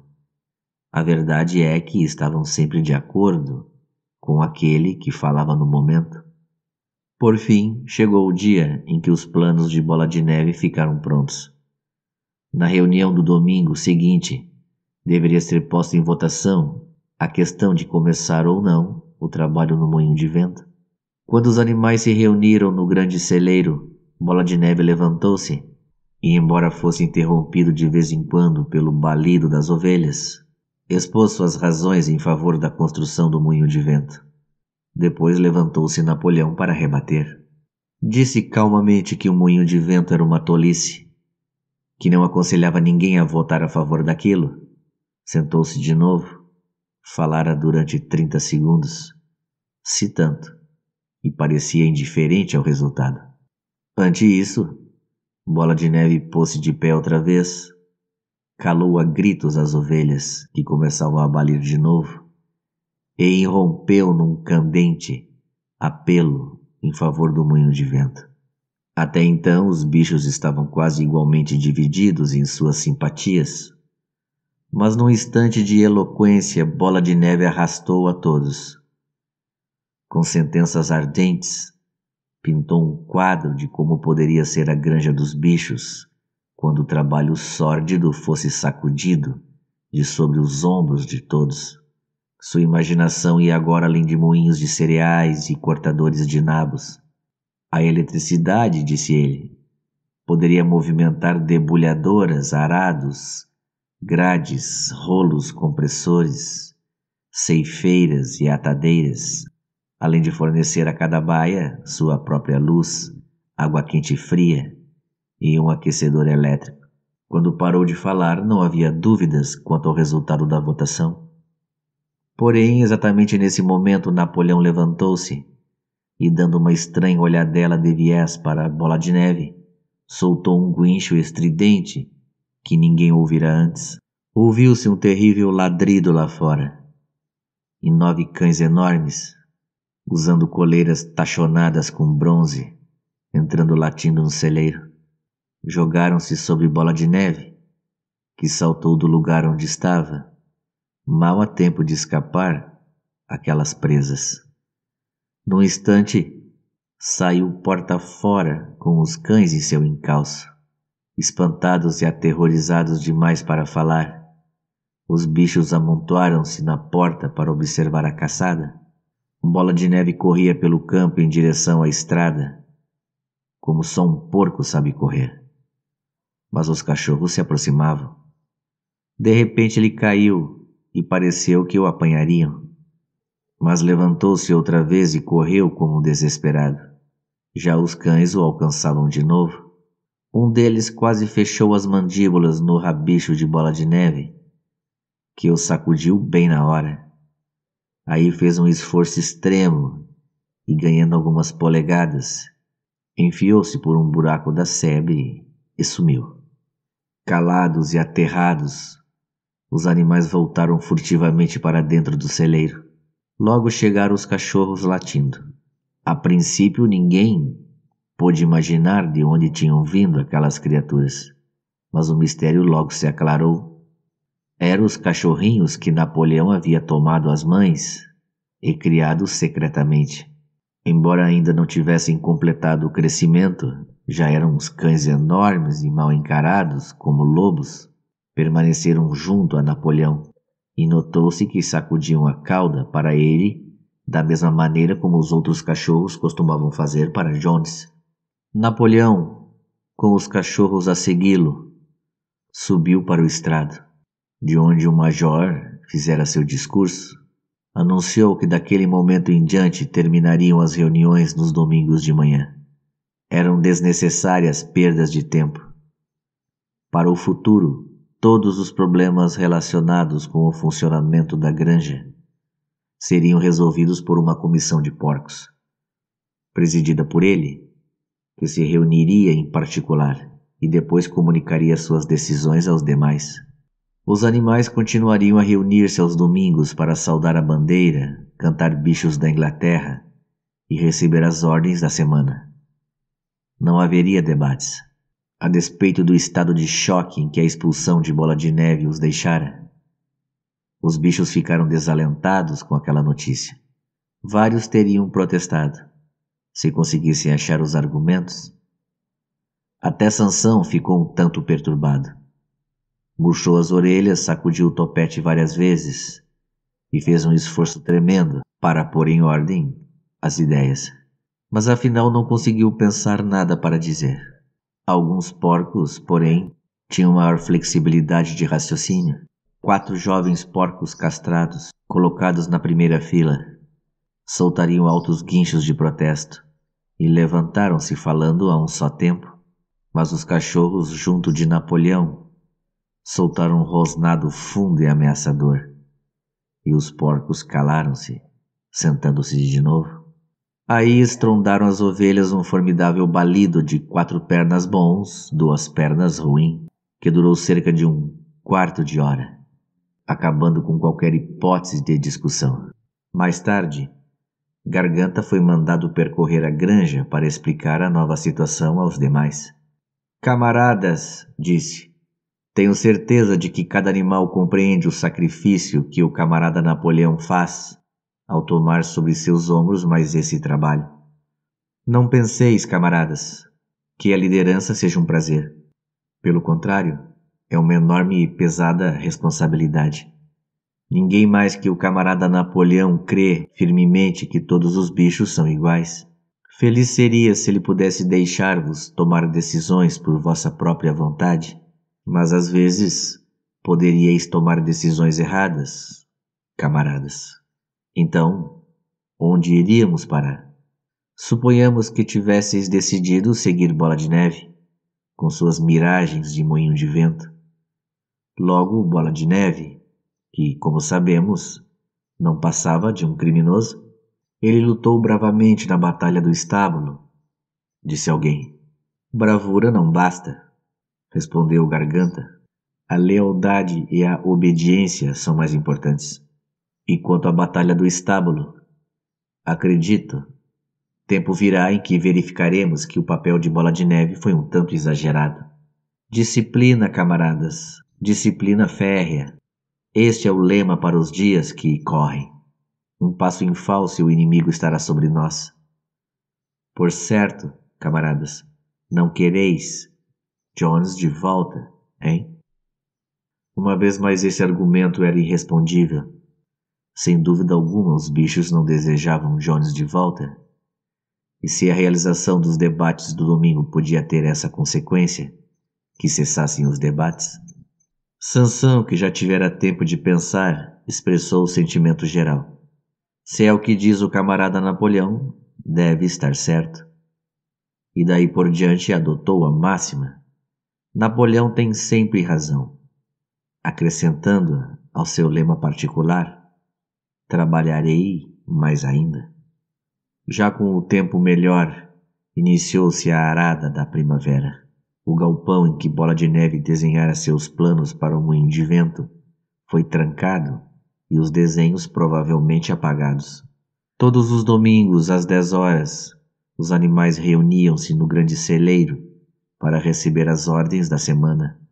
A caveira do velho major, já sem carnes, fora desenterrada e colocada sobre um toco ao pé do mastro, junto à espingarda.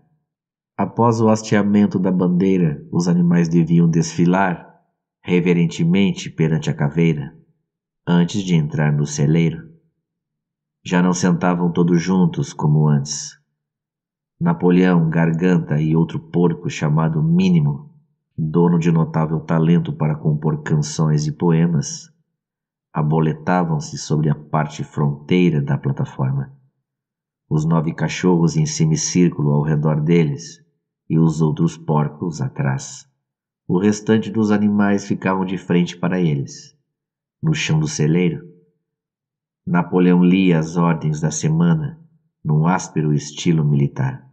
E após cantarem uma única vez Bichos da Inglaterra, os animais se dispersavam. No terceiro domingo após a expulsão de Bola de Neve, os bichos ficavam um tanto surpresos ao ouvirem Napoleão anunciar que o moinho de vento seria, afinal de contas, construído. Não deu qualquer explicação sobre o motivo que o fizera mudar de ideia, apenas alertando os animais de que essa tarefa extraordinária significaria trabalho muito duro, podendo até ser necessário reduzir as rações. Os planos, entretanto, haviam sido elaborados até o último detalhe. Uma comissão especial de porcos trabalhara neles durante as três últimas semanas. A construção do moinho de vento, com vários outros melhoramentos, deveria levar dois anos. Naquela tarde, Garganta explicou aos outros bichos, em particular, que Napoleão nunca foi contra a construção do moinho de vento.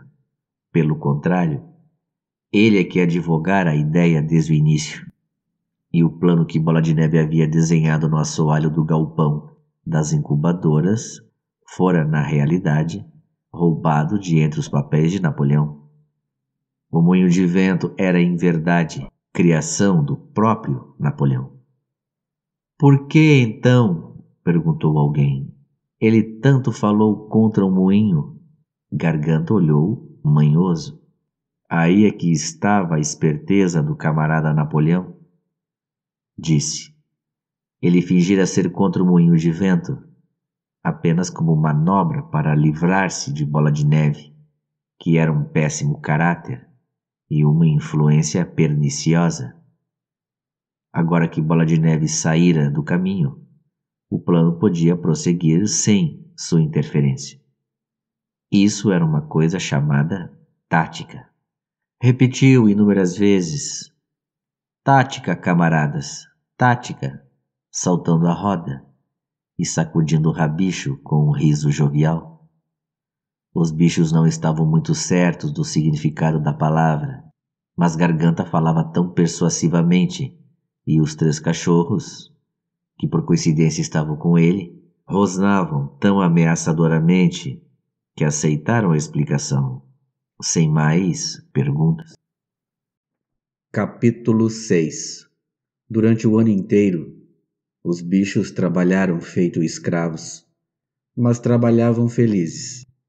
Não mediam esforços ou sacrifícios, cientes de que tudo quanto fizessem reverteria em benefício deles próprios e dos de sua espécie, que estavam por vir e não em proveito de um bando de preguiçosos e aproveitadores seres humanos. Por toda a primavera e o verão, enfrentaram uma semana de 60 horas de trabalho. E em agosto, Napoleão fez saber que haveria trabalho também nos domingos à tarde. Esse trabalho era estritamente voluntário. Porém, o bicho que não aceitasse teria sua ração diminuída pela metade mesmo assim, ficou alguma coisa por fazer. A colheita foi pouco menor do que a do ano anterior, e duas lavouras que deveriam receber mandioca no início do verão não foram plantadas, por não ter sido possível ará-las a tempo. Era fácil prever que o inverno seria bastante duro. A construção do moinho de vento apresentou dificuldades imprevistas. Havia na granja uma boa pedreira e grande quantidade de areia e cimento fora encontrada num depósito. Portanto, o material para a construção existia e estava à mão. O problema que os animais não conseguiram resolver de início foi o de quebrar as pedras no tamanho desejado. Não parecia haver outra maneira senão com picaretas e alavancas, coisas que nenhum animal podia usar porque não lhes era possível ficar de pé sobre duas patas. Somente após semanas de trabalho em vão foi que ocorreu a alguém a ideia certa: aproveitar a gravidade. Pelo jeito da pedreira, jaziam seixos enormes, demasiado grandes para serem usados como estavam. Os bichos amarravam cordas em torno das pedras, e todos juntos, cavalos, vacas, ovelhas, todo animal que fosse capaz de segurar os cabos. Até os porcos entravam no grupo. Em certos momentos críticos, arrastavam-nos com desesperadora lentidão até o ponto mais elevado da pedreira, de cuja borda eram derrubadas para despedaçarem-se embaixo. O transporte das pedras, uma vez quebradas, era relativamente simples. Os cavalos carregavam-nas em carroças as ovelhas arrastavam blocos individuais. Até mesmo Maricota e Benjamin atrelaram-se a uma velha charrete e fizeram sua parte. No fim do verão já haviam acumulado um bom estoque de pedras e começou a construção sob a direção dos porcos. Entretanto, o processo era demorado e laborioso. Frequentemente levava um dia inteiro para arrastar uma pedra das maiores até o topo da pedreira, e às vezes, atirada pela borda, não quebrava. Nada se teria feito sem sanção. cuja força parecia igual à de todos os outros bichos juntos, quando a pedra começava a deslizar e os animais gritavam de desespero. Ao se verem arrastados colina abaixo, era sempre Sansão que retesava os cabos e continha a pedra. Vê-lo na faina da subida, palmo a palmo, com a respiração acelerada, os costados molhados de suor e as pontas dos cascos cravadas no solo, era coisa que enchia a todos de admiração. Quitéria às vezes recomendava-lhe que tivesse cuidado e não se esforçasse demais. Mas Sansão não lhe dava ouvidos. Seus dois lemas, trabalharei mais ainda, e Napoleão tem sempre razão, pareciam-lhe resolver todos os problemas. Pediu a um dos galos que o acordasse três quartos de hora mais cedo, pela manhã, ao invés de meia hora. E nos momentos de folga, coisa que nos últimos tempos não sucedia muito a miúde, ia sozinho à pedreira, juntava um monte de pedra britada e puxava-o até o local do moinho de vento, sem ajuda de ninguém. Os bichos não passaram muito mal aquele inverno, malgrado a dureza do trabalho, se não dispunham de mais alimentos do que no tempo de Jones. Também não tinham menos. A vantagem de só terem a si próprios para alimentar, sem os cinco esbanjadores seres humanos, era tão grande que compensava bem algumas faltas, e sob muitos aspectos seus métodos eram mais eficientes e econômicos. Certas tarefas, como por exemplo a limpeza de ervas daninhas, podiam ser realizadas com uma perfeição impossível aos seres humanos. E como nenhum animal roubava, não houve necessidade de separar as pastagens das terras aráveis, o que evitou o grande trabalho da construção de cercas e porteiras. Não obstante, à medida que o verão passava, começou a se fazer sentir alguma escassez imprevista. Houve falta de óleo de parafina, de pregos, de corda, de biscoitos para os cachorros e de ferraduras para os cavalos coisas que não podiam ser fabricadas na granja. Mais tarde faltaram também sementes e adubo artificial, além de vários tipos de ferramentas, e finalmente a maquinaria para o moinho de vento. Como obter isso tudo? Ninguém conseguia imaginar.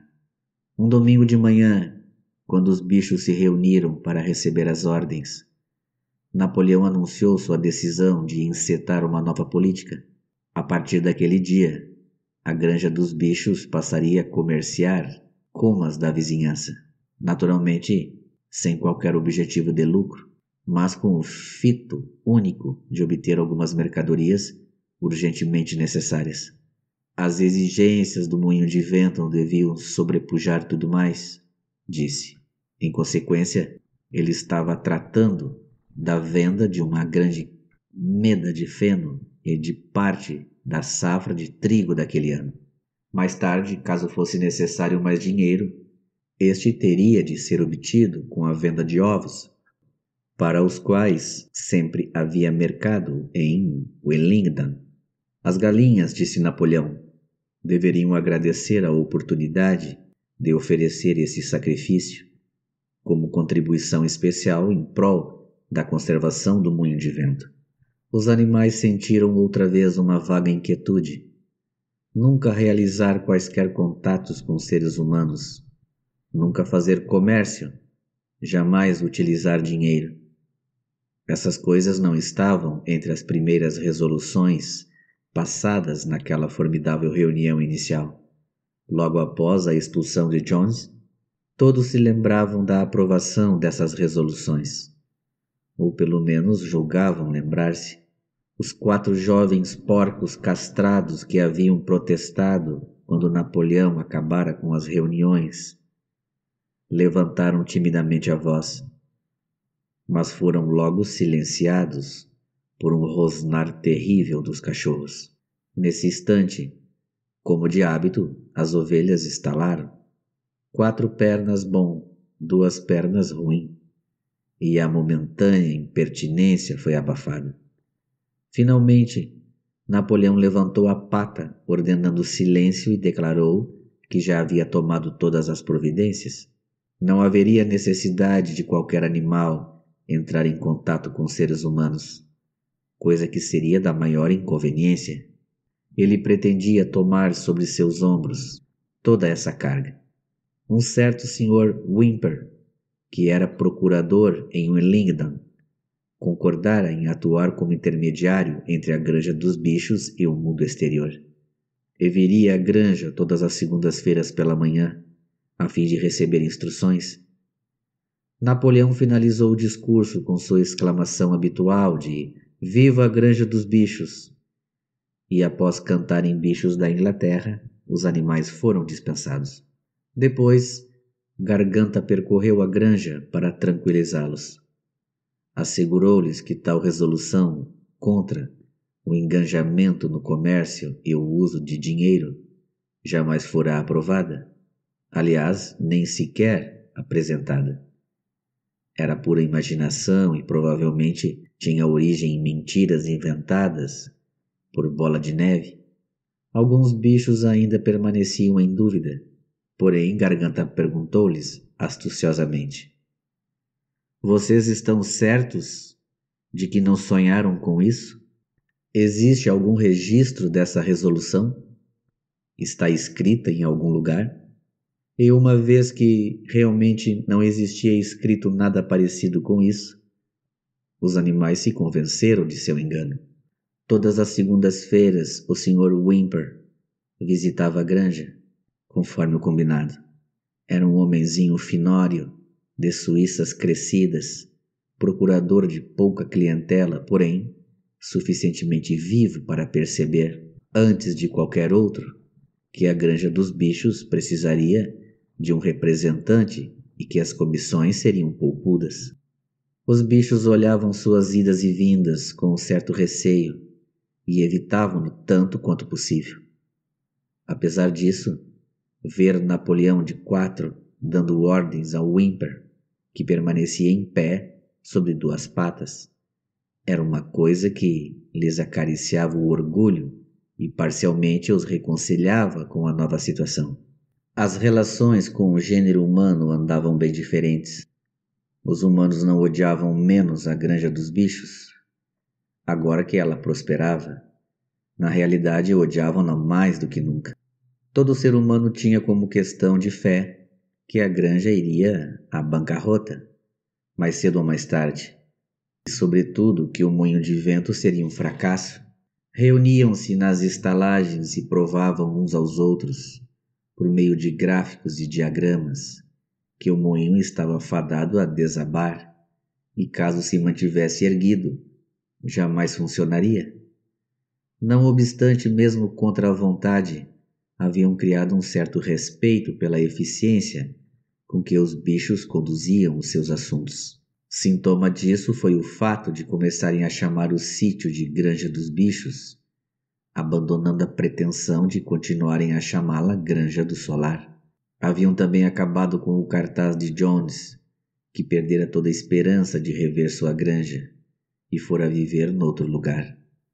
Até agora, exceto por intermédio de Wimper, nenhum contato houvera entre a granja dos bichos e o mundo exterior, mas já circulavam insistentes boatos de que Napoleão estava por chegar a um decisivo acordo de negócios, ora com Pilkington de Foxwood, ora com Frederick de Pinchfield, mas nunca interessante com ambos simultaneamente. Foi mais ou menos por essa época que os porcos, de repente, mudaram-se para a Casa Grande, onde fixaram residência. Novamente os bichos julgaram lembrar-se de que havia uma resolução contra isso, aprovada nos primeiros dias, e novamente Garganta conseguiu convencê-los do contrário. Era absolutamente necessário que os porcos, disse ele, sendo os cérebros da granja, tivessem um lugar calmo onde trabalhar. Além disso, viver numa casa era mais adequado à dignidade do líder. Nos últimos tempos dera para referir-se a Napoleão pelo título de líder. do que viver numa simples pocilga. Mesmo assim, alguns animais se aborreceram ao ouvir dizer que os porcos não só faziam as refeições na cozinha e utilizavam a sala como local de recreação, mas ainda dormiam nas camas. Sansão resolveu o assunto com seu Napoleão tem sempre razão. Porém, Quitéria, que tinha a impressão de lembrar-se de uma lei específica contra camas, foi até o fundo do celeiro e tentou decifrar os sete mandamentos que lá estavam escritos. Sentindo-se incapaz de ler mais do que algumas letras separadamente, foi chamar Maricota. Maricota, pediu ela, leia para mim, por favor, o quarto mandamento. Não diz qualquer coisa a respeito de nunca dormir em camas? Com alguma dificuldade, Maricota soletrou o mandamento. Diz que nenhum animal dormirá em cama com lençóis. Interessante, Quitéria não se recordava dessa menção a lençóis no quarto mandamento, mas se estava escrito na parede, devia haver. E Garganta, que por acaso passava nesse momento, acompanhado de dois cachorros, colocou todo o assunto na perspectiva adequada. Com que estão vocês, camaradas? Ouviram dizer que nós, os porcos, agora dormimos nas camas da casa? E por que não? Vocês não supunham, por certo, que houvesse uma lei contra camas, não é? A cama é meramente o lugar onde se dorme. Vendo bem, um monte de palha no estábulo é uma cama. A lei era contra os lençóis, que são uma invenção humana. Nós retiramos os lençóis das camas da casa e dormimos entre cobertores. Confortáveis, lá isso são, porém não mais do que necessitamos. Posso afirmar-lhes, camaradas, com todo o trabalho intelectual que atualmente recai sobre nós. Vocês não seriam capazes de negar-nos o repouso, camaradas. Seriam? Vocês não desejariam ver-nos tão cansados que não pudéssemos cumprir nossa missão? Não? Será que alguém quer Jones de volta? Os animais tranquilizaram-no a esse respeito e não se falou mais no fato de os porcos dormirem nas camas da casa. E quando se anunciou alguns dias depois que os porcos passariam a levantar-se de manhã uma hora mais tarde do que os outros bichos, ninguém se queixou disso também. Ao chegar o outono, os animais andavam cansados, mas felizes. Haviam tido um ano difícil e após a venda de uma parte da safra de feno e de trigo, os estoques para o inverno já não eram lá muito abundantes, mas o moinho de vento compensava tudo. Já estava quase pela metade. Após a colheita houve um período de tempo bom e os bichos trabalharam mais do que nunca, satisfeitos com a tarefa de andarem para lá e para cá, puxando blocos de pedras, desde que com isso conseguissem fazer a parede subir mais alguns centímetros.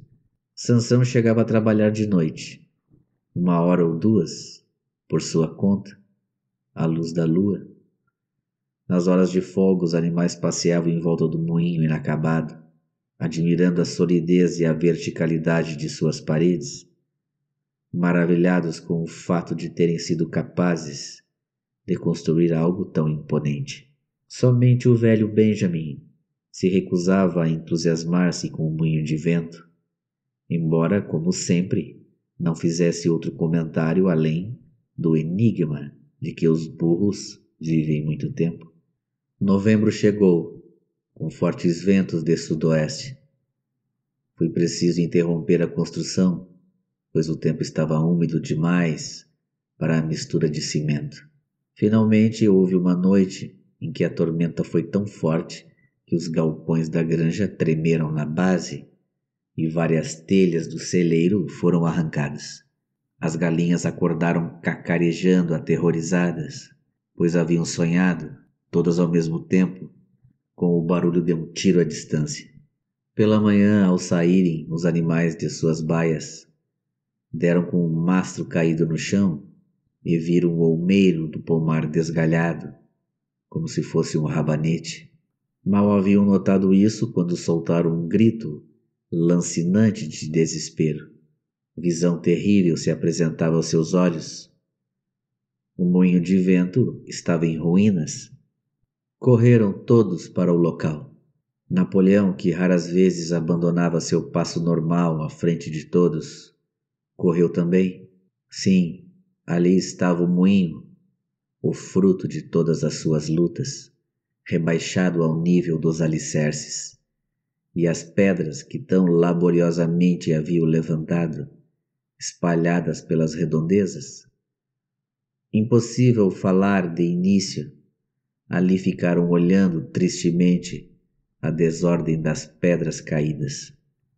Napoleão andava lentamente de um lado para o outro, em silêncio, ocasionalmente farejando o chão, aqui e ali. Seu rabicho se esticava e se sacudia energicamente, para lá e para cá, no sinal de febril atividade mental. De repente estacou, como se tivesse chegado a uma conclusão. Camaradas, disse lentamente, quem é o responsável por isto? Sabem quem foi o inimigo que na calada da noite destruiu nosso moinho de vento?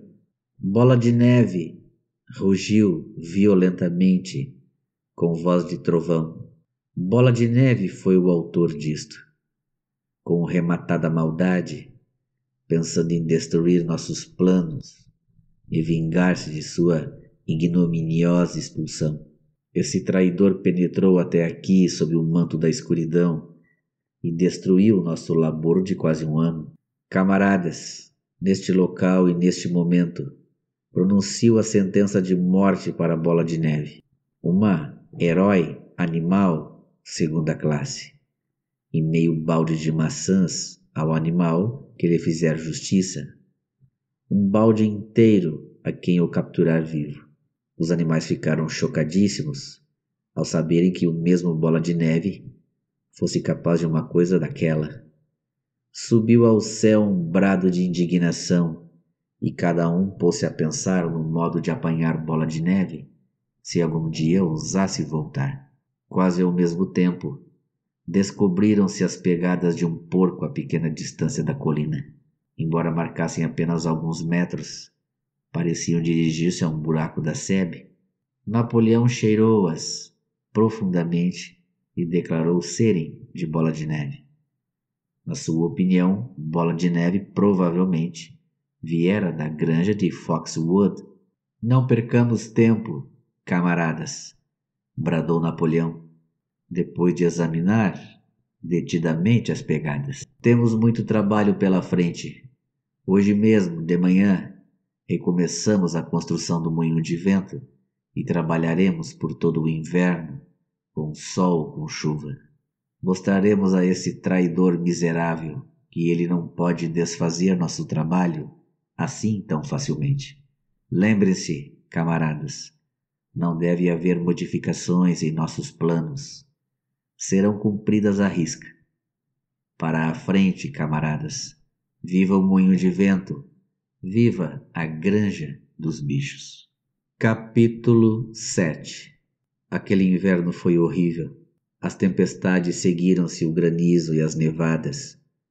Depois o gelo, que somente se desfez em meados de fevereiro.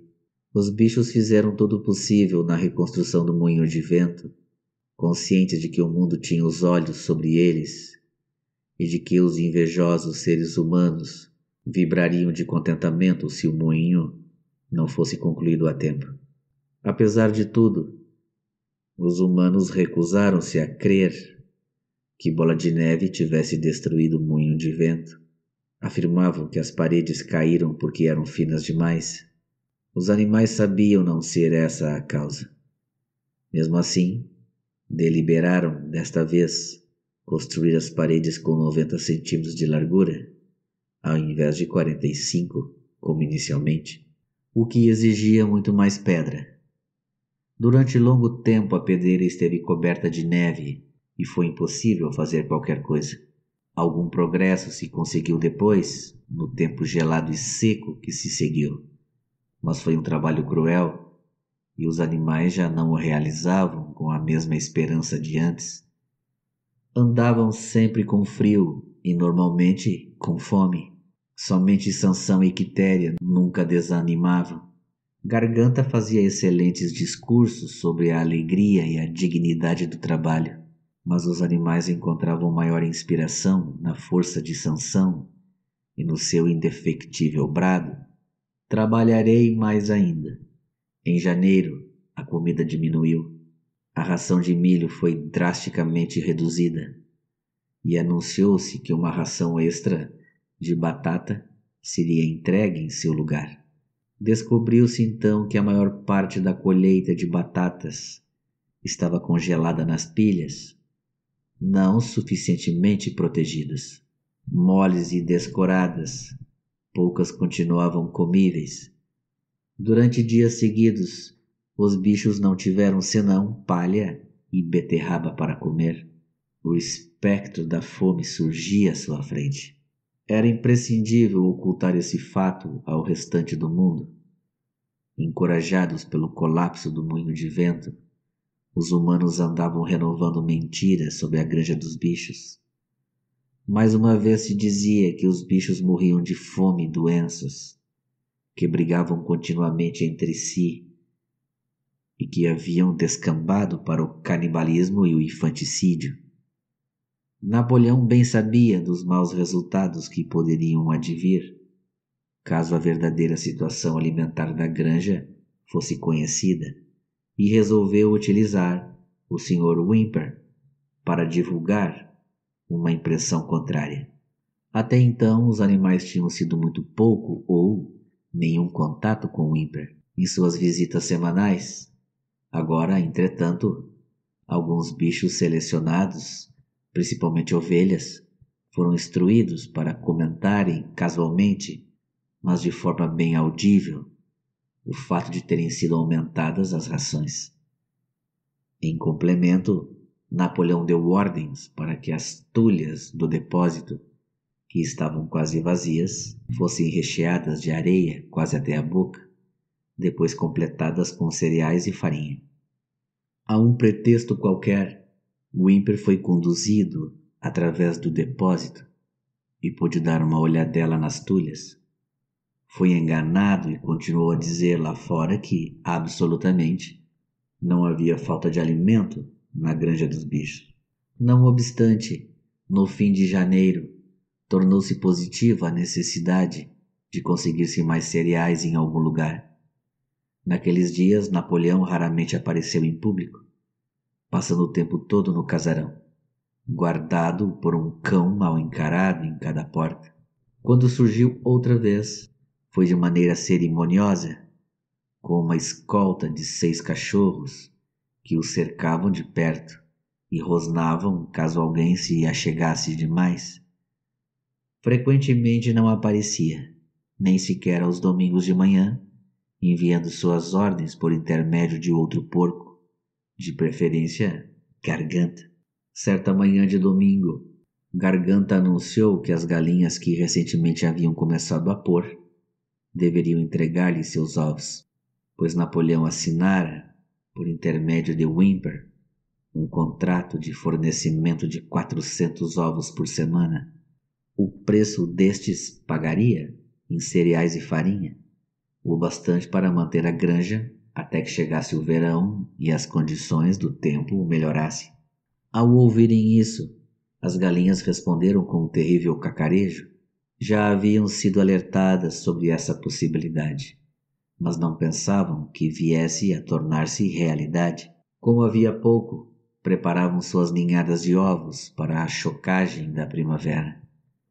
Protestaram dizendo que tomar-lhe os ovos agora era um crime pela primeira vez desde a expulsão de Jones, aconteceu algo parecido com uma rebelião.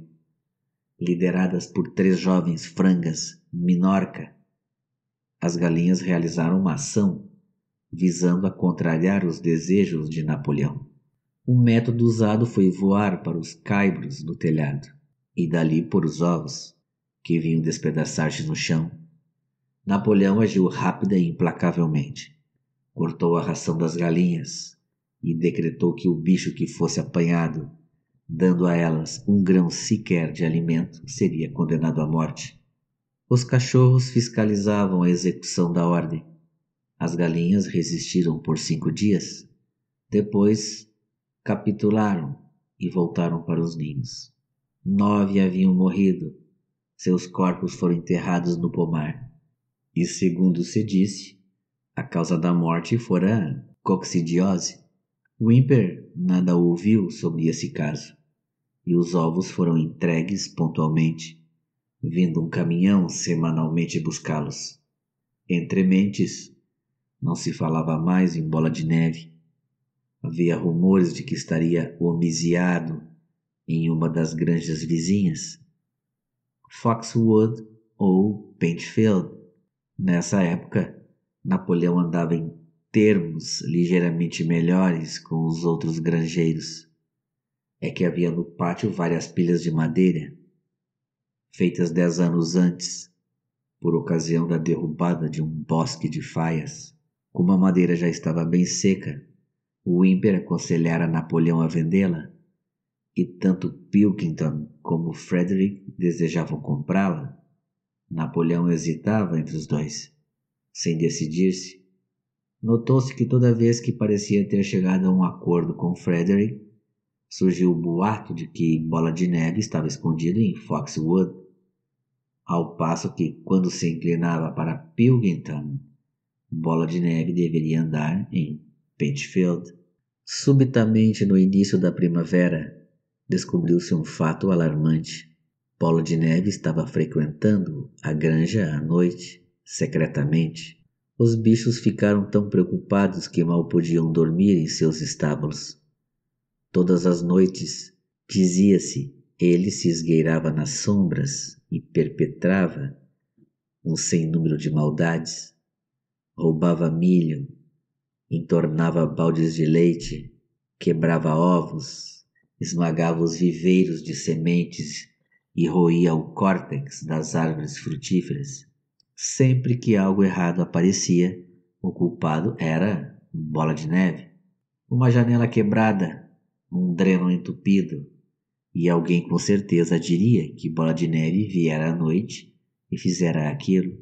Quando se perdeu a chave do depósito, toda a granja se convenceu de que Bola de Neve a jogara no fundo do poço. Interessante foi continuarem a acreditar.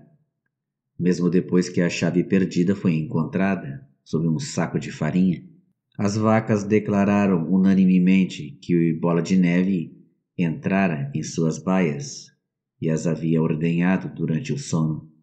Os ratos, por incomodarem muito durante o inverno, foram taxados de aliados de Bola de Neve. Napoleão decretou uma ampla investigação sobre as atividades de Bola de Neve.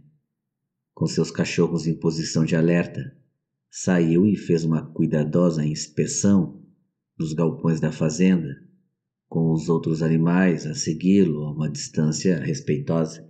A pequenos intervalos, Napoleão parava e farejava o chão em busca de sinais de bola de neve, que, segundo disse, podia perceber pelo faro. Cheirou cada canto no celeiro, no estábulo, nos galinheiros, na horta, encontrando vestígios de bola de neve em quase toda a parte.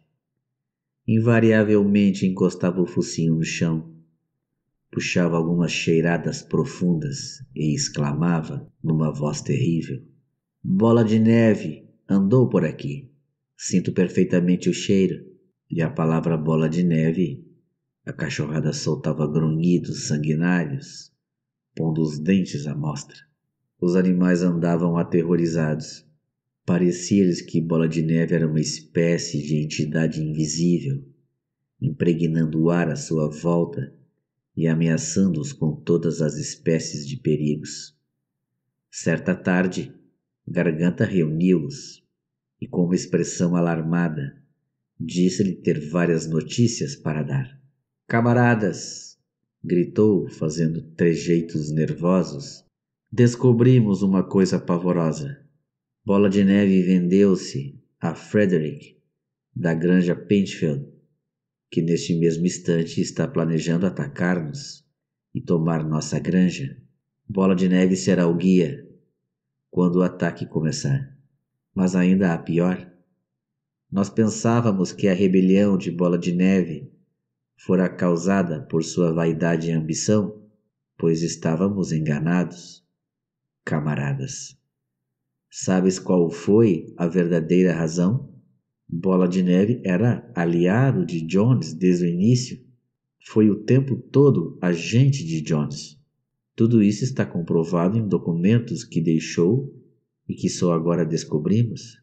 Para mim, isso explica muita coisa, camaradas, pois não vimos com os nossos próprios olhos a maneira como ele tentou, felizmente sem conseguir, fazer que fôssemos derrotados e destruídos na batalha do estábulo. Os bichos ouviam estupefatos. Isso era um crime muitíssimo maior do que ter destruído o moinho de vento. Mas alguns minutos se passaram até eles compreenderem a completa significação de tudo aquilo. Todos se lembravam, ou julgavam lembrar-se, de terem visto Bola de Neve carregando à frente, na batalha do estábulo, de como ele os encorajava e incitava a cada instante, não titubeando um só segundo, quando as balas de Jones rasgaram-lhe o dorso. Inicialmente foi difícil entender de que maneira isso combinava com estar do lado de Jones. Até Sansão, que raras vezes fazia perguntas, ficou confuso, deitou-se e enfiou as patas dianteiras debaixo do corpãozinho, fechou os olhos e com grande esforço tentou reunir os pensamentos. Não acredito, disse Bola de Neve lutou bravamente na batalha do estábulo. Isso eu vi com meus próprios olhos, pois nós até não lhe demos uma herói animal primeira classe, logo depois. Esse foi o nosso erro, camaradas, pois agora sabemos, e está tudo escrito nos documentos encontrados, que na realidade ele tentava conduzir-nos à desgraça. Mas ele foi ferido, insistiu Sansão Todos o vimos ensanguentado. Isso era parte do trato. Gritou Garganta. O tiro de Jones pegou apenas de raspão. Eu poderia mostrar isso a vocês, escrito com a letra dele mesmo, se vocês soubessem ler. A combinação era bola de neve dar o sinal de retirada no momento crítico e abandonar o terreno ao inimigo. E ele quase conseguiu isso, posso dizer até que teria conseguido se não fosse o nosso heróico líder, o camarada Napoleão. Lembram-se de que, bem no momento em que Jones e seus homens atingiram o pátio, Bola de Neve, de repente, virou-se e fugiu, seguido de muitos animais? E não foi nesse exato momento, quando já nos dominava o pânico e tudo parecia perdido, que o camarada Napoleão surgiu proferindo o brado de Morte à humanidade! E fincou os dentes na perna de Jones. Por certo, vocês se lembram disso, não é? Camaradas! exclamou Garganta, dando pulinhos de um lado para outro. Bem, agora que Garganta descrever a cena tão vividamente, parecia os animais que de fato se lembravam. Pelo menos lembravam-se de, num momento crítico da batalha, Bola de Neve voltar-se para fugir. Sansão, porém, ainda permanecia um tanto contrafeito. Não acredito que Bola de Neve fosse um traidor desde o começo, disse por fim. O que fez depois é outra coisa. Eu ainda acho que na Batalha do Estábulo ele foi um bom camarada. Nosso líder, o camarada Napoleão, disse: Garganta, falando devagar e com firmeza, declarou categoricamente, categoricamente, camaradas, que Bola de Neve era agente de Jones desde o início. Sim, desde o instante mesmo em que imaginamos a revolução. Ah, isso é diferente, respondeu Sansão. Se o camarada Napoleão diz, deve ter razão. Hum, esse é o verdadeiro espírito, camarada, exclamou Garganta. Porém, todos notaram a olhadela feia que deu para Sansão com seus olhos matreiros. Depois virou-se para ir embora, mas se deteve e acrescentou de maneira impressionante: Alerto a todos os animais desta fazenda para que mantenham os olhos bem abertos. Temos motivos para pensar que alguns dos agentes secretos de Bola de Neve estão ocultos entre nós neste momento. Quatro dias depois, à tardinha, Napoleão mandou que os bichos se reunissem no pátio. Quando todos haviam comparecido, Napoleão emergiu do casarão ostentando ambas as suas medalhas, pois recentemente conferira a si próprio a Herói Animal Primeira Classe e a Herói Animal Segunda Classe, com seus nove cachorros, fazendo demonstrações à sua volta e soltando rosnados que causavam calafrios nas espinhas dos animais. Estes se encolheram silenciosos em seus lugares, parecendo pressentir que algo horrível estava por acontecer. Napoleão parou e dirigiu um olhar severo à assistência. Depois deu um guincho estridente. Imediatamente os cachorros avançaram, pegando quatro porcos pelas orelhas e arrastando-os a guinchar, de dor e terror, até os pés de Napoleão. As orelhas dos porcos sangraram e o gosto do sangue pareceu enlouquecer os cachorros. Para a surpresa de todos, três deles lançaram-se sobre Sansão. Este reagiu com um pataço que pegou um dos cachorros ainda no ar, jogando-o ao solo. O cachorro ganiu pedindo compaixão e os outros dois fugiram, com o rabo entre as pernas. Sansão olhou para Napoleão para saber se devia liquidar o cachorro ou deixá-lo ir. Napoleão pareceu mudar de ideia e rispidamente ordenou a Sansão que o soltasse. E ele ergueu a pata, deixando ir o cachorro ferido, uivando. O tumulto amainou. Os quatro porcos esperavam, trêmulos, com a culpa desenhada em cada linha do semblante. Então Napoleão concitou-os a confessar seus crimes. Eram os mesmos que haviam protestado quando Napoleão abolira as reuniões dominicais. Sem mais demora, confessaram ter realizado contatos secretos com Bola de Neve desde o dia de sua expulsão e haver colaborado com ele na destruição do moinho de vento. Confessaram ainda que também haviam se comprometido com ele a entregar a granja dos bichos a Frederick. Acrescentaram que Bola de Neve havia admitido, na presença deles, ter sido, durante muitos anos, agente secreto de Jones. Ao fim da confissão, os cachorros estraçalharam-lhes a garganta e, com voz terrível, Napoleão perguntou se algum outro animal tinha qualquer coisa a confessar. As três galinhas que haviam liderado a tentativa de reação a respeito dos ovos aproximaram-se e declararam que Bola de Neve lhes aparecera em sonho, instigando-as a desobedecerem às ordens de Napoleão. Também foram degoladas. Aí veio um ganso e confessou ter escondido seis espigas de milho durante a colheita do ano anterior comendo-as depois à noite. Uma ovelha confessou ter urinado no açude por insistência, disse de bola de neve, e duas outras ovelhas confessaram ter assassinado um velho bode, seguidor especialmente devotado de Napoleão, fazendo-o correr em volta de uma fogueira, quando ele, coitado, estava com um ataque de asma. Foram mortas ali mesmo. E assim prosseguiu a sessão de confissões e execuções, até haver um montão de cadáveres aos pés de Napoleão e no ar um pesado cheiro de sangue, coisa que não sucedia desde a expulsão de Jones.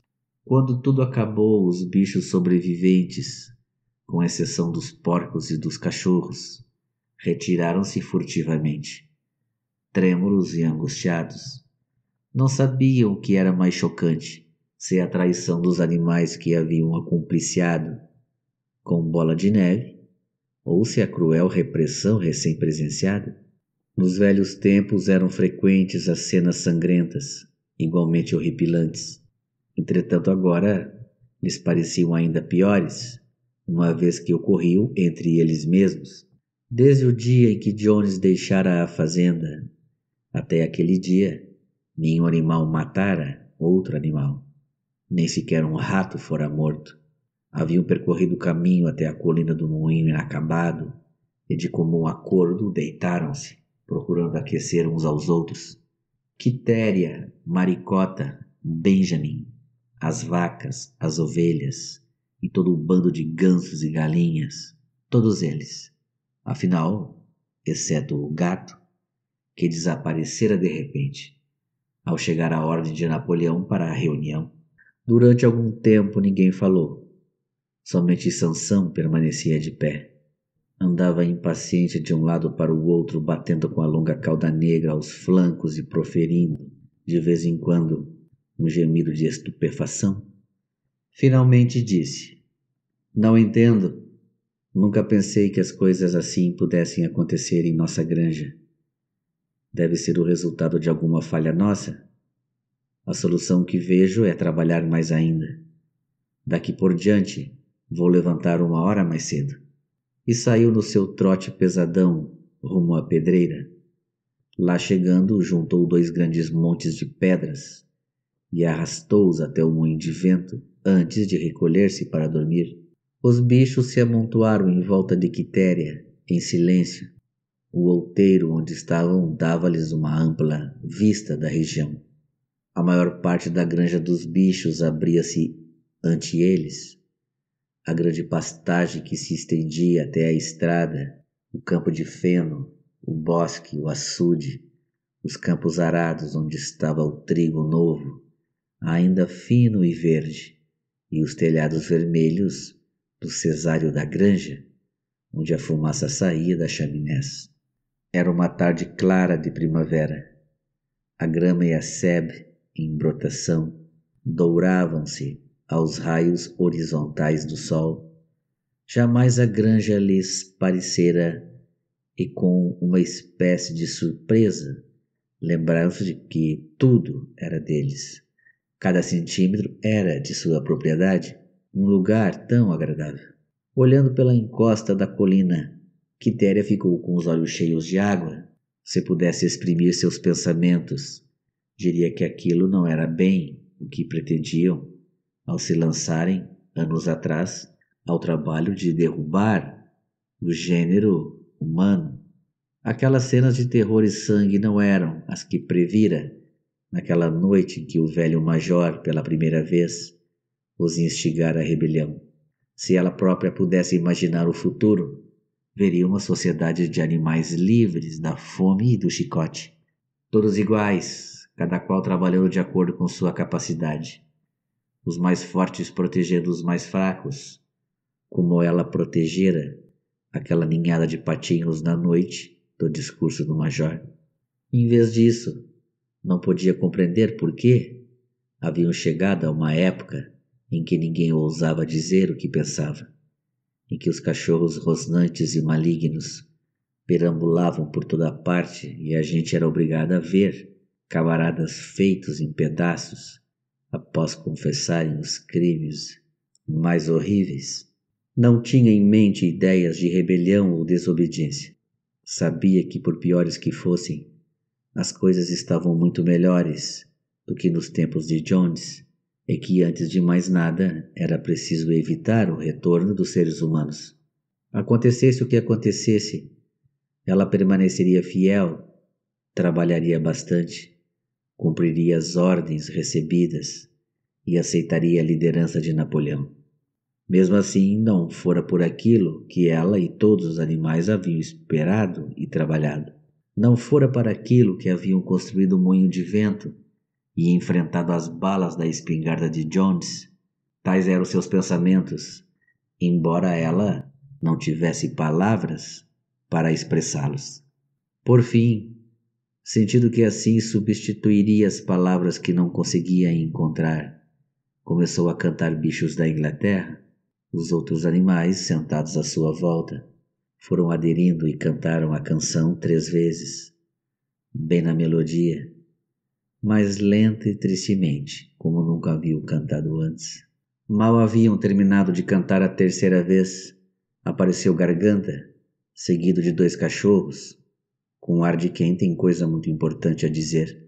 Anunciou que, por decreto especial do camarada Napoleão, a canção Bichos da Inglaterra fora abolida.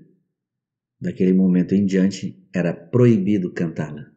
Os animais foram colhidos de surpresa. Por quê? exclamou Maricota. Não há necessidade, camaradas, respondeu Garganta inflexivelmente. Bichos da Inglaterra era a canção da Revolução. Mas a Revolução agora está concluída. A execução dos traidores, hoje à tarde, foi o ato final. Em Bichos da Inglaterra, expressávamos nosso anseio por uma sociedade melhor no porvir. Ora, essa sociedade já foi instituída. Evidentemente, o hino não tem mais valor algum. Mesmo amedrontados como estavam, alguns animais poderiam ter protestado, se nesse momento as ovelhas não enveredassem pelo quatro pernas bom, duas pernas ruim, que durou vários minutos, pondo fim à discussão. E assim não mais se ouviu bichos da Inglaterra. Em seu lugar mínimo, o poeta compusera outra canção que começava dizendo: Granja dos bichos, granja dos bichos, jamais te farão mal. E isso passou a ser cantado todos os domingos após o hasteamento da bandeira. Mas, de certa forma, nem a letra nem a música jamais pareceram aos animais como as de bichos da Inglaterra. Capítulo 8 Poucos dias mais tarde, quando já mainara o terror causado pelas execuções, alguns animais lembraram-se, ou julgaram lembrar-se, de que o sexto mandamento rezava: Nenhum animal matará outro animal. Embora ninguém o mencionasse ao alcance dos ouvidos dos porcos ou dos cachorros. Parecia-lhes que a matança ocorrida não se ajustava muito bem com isso. Quitéria pediu a Benjamin que lesse o sexto mandamento, e quando Benjamin, como sempre, respondeu que se recusava a envolver-se em tais assuntos, procurou Maricota. Esta leu para ela o sexto mandamento. Dizia: Nenhum animal matará outro animal sem motivo. De uma outra maneira, as duas últimas palavras haviam escapado à memória dos bichos. Mas estes viam agora que o sexto mandamento não fora violado. Sim, pois, evidentemente, havia boas razões para matar os traidores que se haviam aliado à bola de neve. Durante aquele ano, os bichos trabalharam ainda mais que no ano anterior. A reconstrução do moinho de vento, as paredes com o dobro de espessura, sua conclusão no prazo marcado, juntamente com o trabalho normal da granja, era tudo tremendamente laborioso. Momentos houve em que lhes pareceu que estavam trabalhando mais do que no tempo de Jones, sem se alimentarem melhor. Nos domingos de manhã, garganta segurando uma comprida folha de papel, lia para eles relações de estatísticas comprobatórias de que a produção de todas as classes de gêneros alimentícios aumentara de 200, 300 ou 500%, conforme o caso. Os bichos não viam razão para desacreditá-lo, especialmente porque já não conseguiam lembrar-se com clareza das exatas condições de antes da Revolução. Mesmo assim, dias havia em que prefeririam ter menos estatísticas e mais comida. Todas as ordens agora eram transmitidas por meio de garganta ou de outro porco. Napoleão não era visto em público mais do que uma vez cada quinze dias, e quando aparecia era acompanhado não só pela sua matilha de cães, mas também por um garnizé preto que marchava à sua frente, atuando como arauto, soltando um cocoricó antes de cada fala de Napoleão. Mesmo na casa grande, diziam ele, habitava um apartamento separado dos demais. Fazia as refeições sozinho, com dois cachorros para servi-lo, e comia no serviço de jantar de porcelana da cristaleira da sala. Anunciou-se também que a espingarda seria disparada anualmente na data do aniversário de Napoleão, assim como os outros dois aniversários. Agora já não mencionavam Napoleão como Napoleão, simplesmente.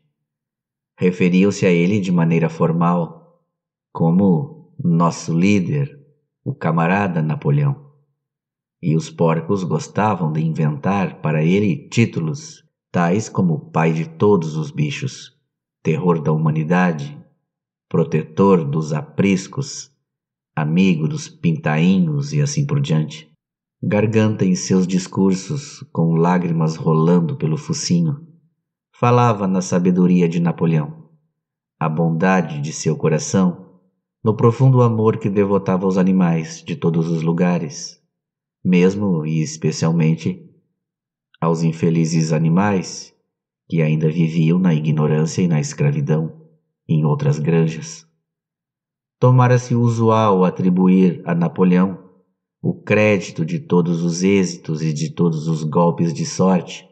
Ouvia-se frequentemente uma galinha comentar para outra. Sob a orientação de nosso líder, o camarada Napoleão, pus cinco ovos em seis dias.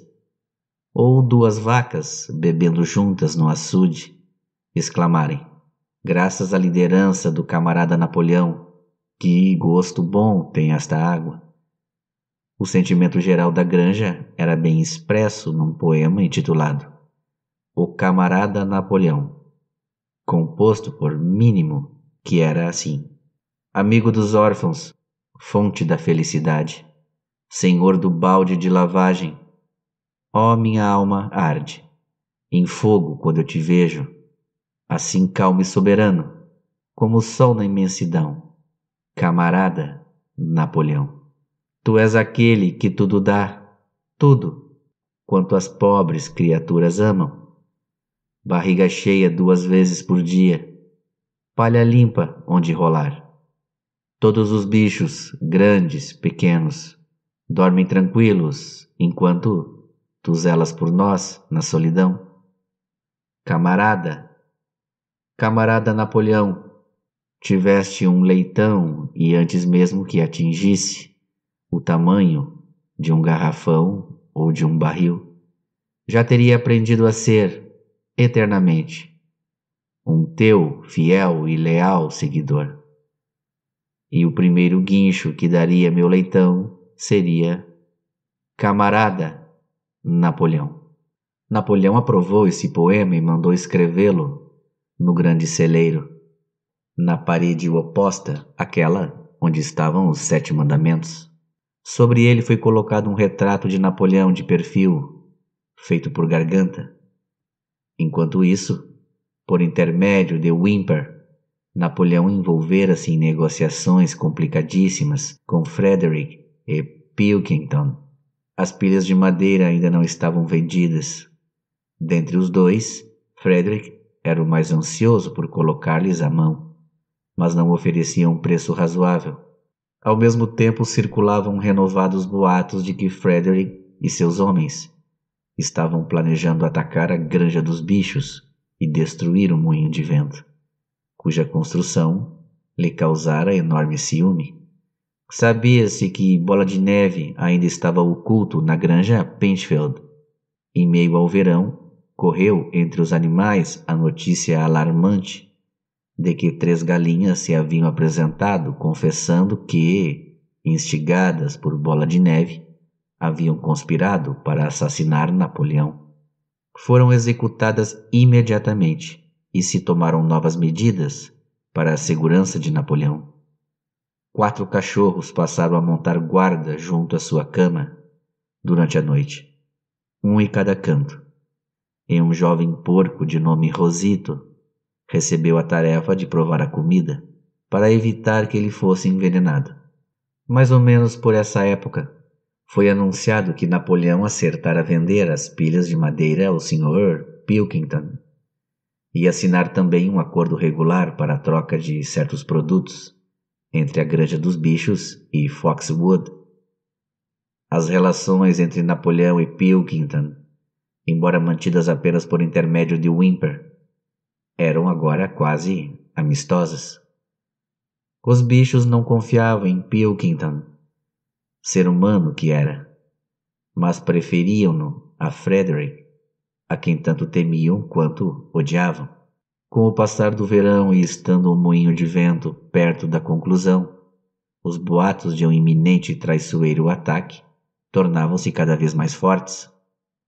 Frederick, dizia-se, tensionava trazer contra eles vinte homens armados de espingardas e já subornara os magistrados e a polícia, de forma que se conseguissem colocar as mãos nas escrituras de propriedade da Granja dos Bichos, não surgisse problema algum. Além disso, filtravam-se de Penfield terríveis histórias a respeito das barbaridades a que Frederick submetia seus animais. Havia chicoteado um cavalo velho até liquidá-lo. Matava as vacas de fome assassinaram um cachorro jogando-o numa fornalha. Divertia-se de noite assistindo a brigas de galos, e cujas esporas colocava pedaços de lâminas de barbear. O sangue dos animais fervia de ódio quando ouviam contar o que se fazia contra seus camaradas, e às vezes alguns pediam que lhes fosse permitido sair para atacar Pinchfield, expulsar os humanos e libertar os bichos. Porém, Garganta aconselhava-os a evitar essas atitudes violentas e a confiar na estratégia do camarada Napoleão. Não obstante, crescia o sentimento de ódio com relação a Frederick. Certo domingo de manhã, Napoleão apareceu no celeiro e declarou que jamais, em tempo algum, admitiria vender as pilhas de madeira a Frederick considerava abaixo de sua dignidade. Disse fazer negócios com patifes daquela espécie. Os pombos que continuavam a espalhar as mensagens da revolução foram proibidos de pôr os pés em qualquer ponto de Foxwood e receberam ordem de modificar seu slogan de morte à humanidade para morte a Frederick.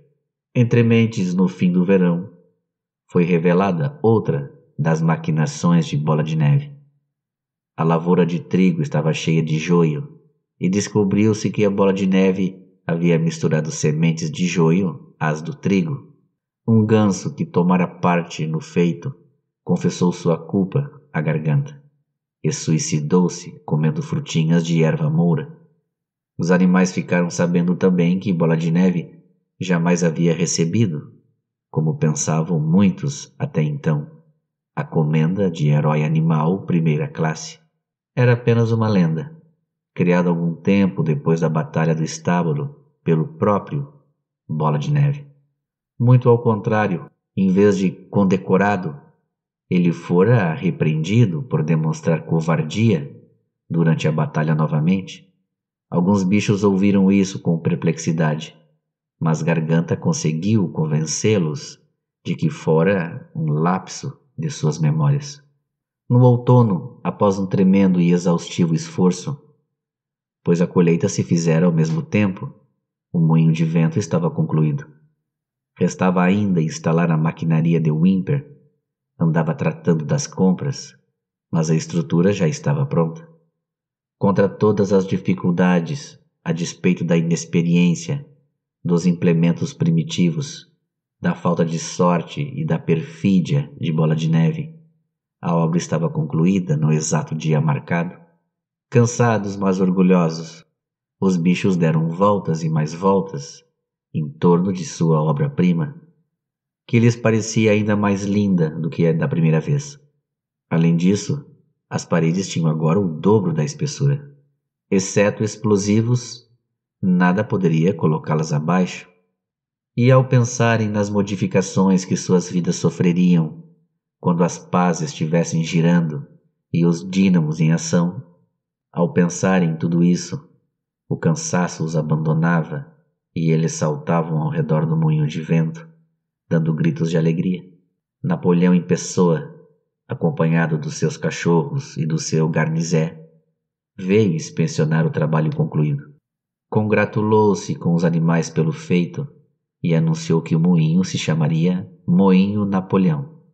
Dois dias mais tarde, os animais foram convidados para uma reunião especial no celeiro e ficaram abombados de surpresa quando Napoleão comunicou ter vendido a madeira a Frederick. No dia seguinte, os caminhões de Frederick chegariam para o carregamento. Durante todo o período de aparente amizade com Pilkington, Napoleão na realidade negociara um acordo secreto com Frederick. Todas as relações com Foxwood foram cortadas e enviadas a Pilkington, mensagens insultuosas. Os pombos receberam ordem de não pousar mais na granja Pinchfield e mudaram o slogan de Morte a Frederick para Morte a Pilkington. Ao mesmo tempo, Napoleão assegurou a todos que as histórias sobre o iminente ataque à Granja dos Bichos eram inteiramente falsas e que os boatos a respeito da crueldade de Frederick para com os animais eram muito exagerados. Todos esses boatos eram, provavelmente, coisa de bola de neve. E seus agentes? Parecia agora que Bola de Neve, na realidade, não estava escondido na granja Penfield. Aliás, nunca estivera lá em toda a sua vida. Vivia, e cercado de muito luxo, sabiam agora, em Foxwood, sendo, além do mais, pensionista de Pilkington há muitos anos. Os porcos estavam quase em êxtase com a esperteza de Napoleão. Fingindo ser amigo de Pilkington, obrigara Frederick a aumentar seu preço em 12 libras. Porém, a qualidade superior da mente de Napoleão dizia a garganta, estava no fato de não confiar em ninguém, nem mesmo em Frederick. Este quisera pagar a madeira com uma coisa chamada cheque, que era, ao que diziam, um pedaço de papel com uma promessa de pagamento escrita. Mas Napoleão era vivo demais para isso. Exigiu o pagamento em notas autênticas de cinco libras, que deveriam ser entregues antes da retirada da madeira. Frederick já pagara, e a soma era suficiente para comprar a maquinaria do moinho de vento. A madeira já fora retirada com grande rapidez. Quando todo o carregamento estava bem longe, houve uma outra reunião especial no celeiro para os bichos examinarem as notas de Frederick. Sorrindo beatificamente e usando suas condecorações, Napoleão recostara-se numa cama de palha, com o dinheiro a seu lado, cuidadosamente empilhado numa travessa da cozinha da casa grande. Os animais passavam lentamente em fila e cada um olhava o tempo que quisesse. Sansão espichou o focinho para cheirar as notas, e as delicadas coisinhas agitaram-se e farfalharam com sua respiração. Três dias mais tarde, houve um Deus nos acuda. Wimper, branco como cera, chegou afobado com sua bicicleta, deixou-a caída no pátio e correu para dentro da casa. Daí a momentos ouviu-se um pavoroso rugido de raiva vindo do apartamento de Napoleão. A notícia do que sucedera espalhou-se pela granja com a rapidez de um raio. As notas eram falsas. Frederick levar madeira de graça. Napoleão imediatamente chamou os animais e, com um vozeirão de arrepiar, proclamou a sentença de morte contra Frederick. Ao ser capturado, disse: Frederick seria queimado vivo. Ao mesmo tempo, avisou que depois daquela insídia deveria esperar pelo pior. Frederick e seus homens poderiam desencadear a qualquer momento o tão falado ataque foram colocadas sentinelas em todos os caminhos que conduziam à granja. Além disso, quatro pombos foram mandados a Foxwood com uma mensagem conciliadora que levava as esperanças de restabelecer as boas relações com Pilkington. Logo na manhã seguinte, sobreveio o ataque. Os animais estavam fazendo a refeição matinal quando as sentinelas chegaram correndo com a notícia de que Frederick e seus seguidores já haviam atravessado a porteira das cinco barras. Corajosamente, os bichos saíram ao seu encontro, mas desta vez não obteriam uma vitória fácil, como a da batalha do estábulo. Eram quinze homens com meia dúzia de espingardas e abriram fogo tão logo chegaram a cinquenta metros. Os animais não puderam fazer frente à saraivada de balas. E a despeito dos esforços de Napoleão e Sansão para fazê-los voltar à luta, retrocederam. Muitos já estavam feridos. Refugiaram-se no casario da granja e ficaram olhando prudentemente pelos buracos. Toda a pastagem, inclusive o moinho de vento, caíra nas mãos do inimigo.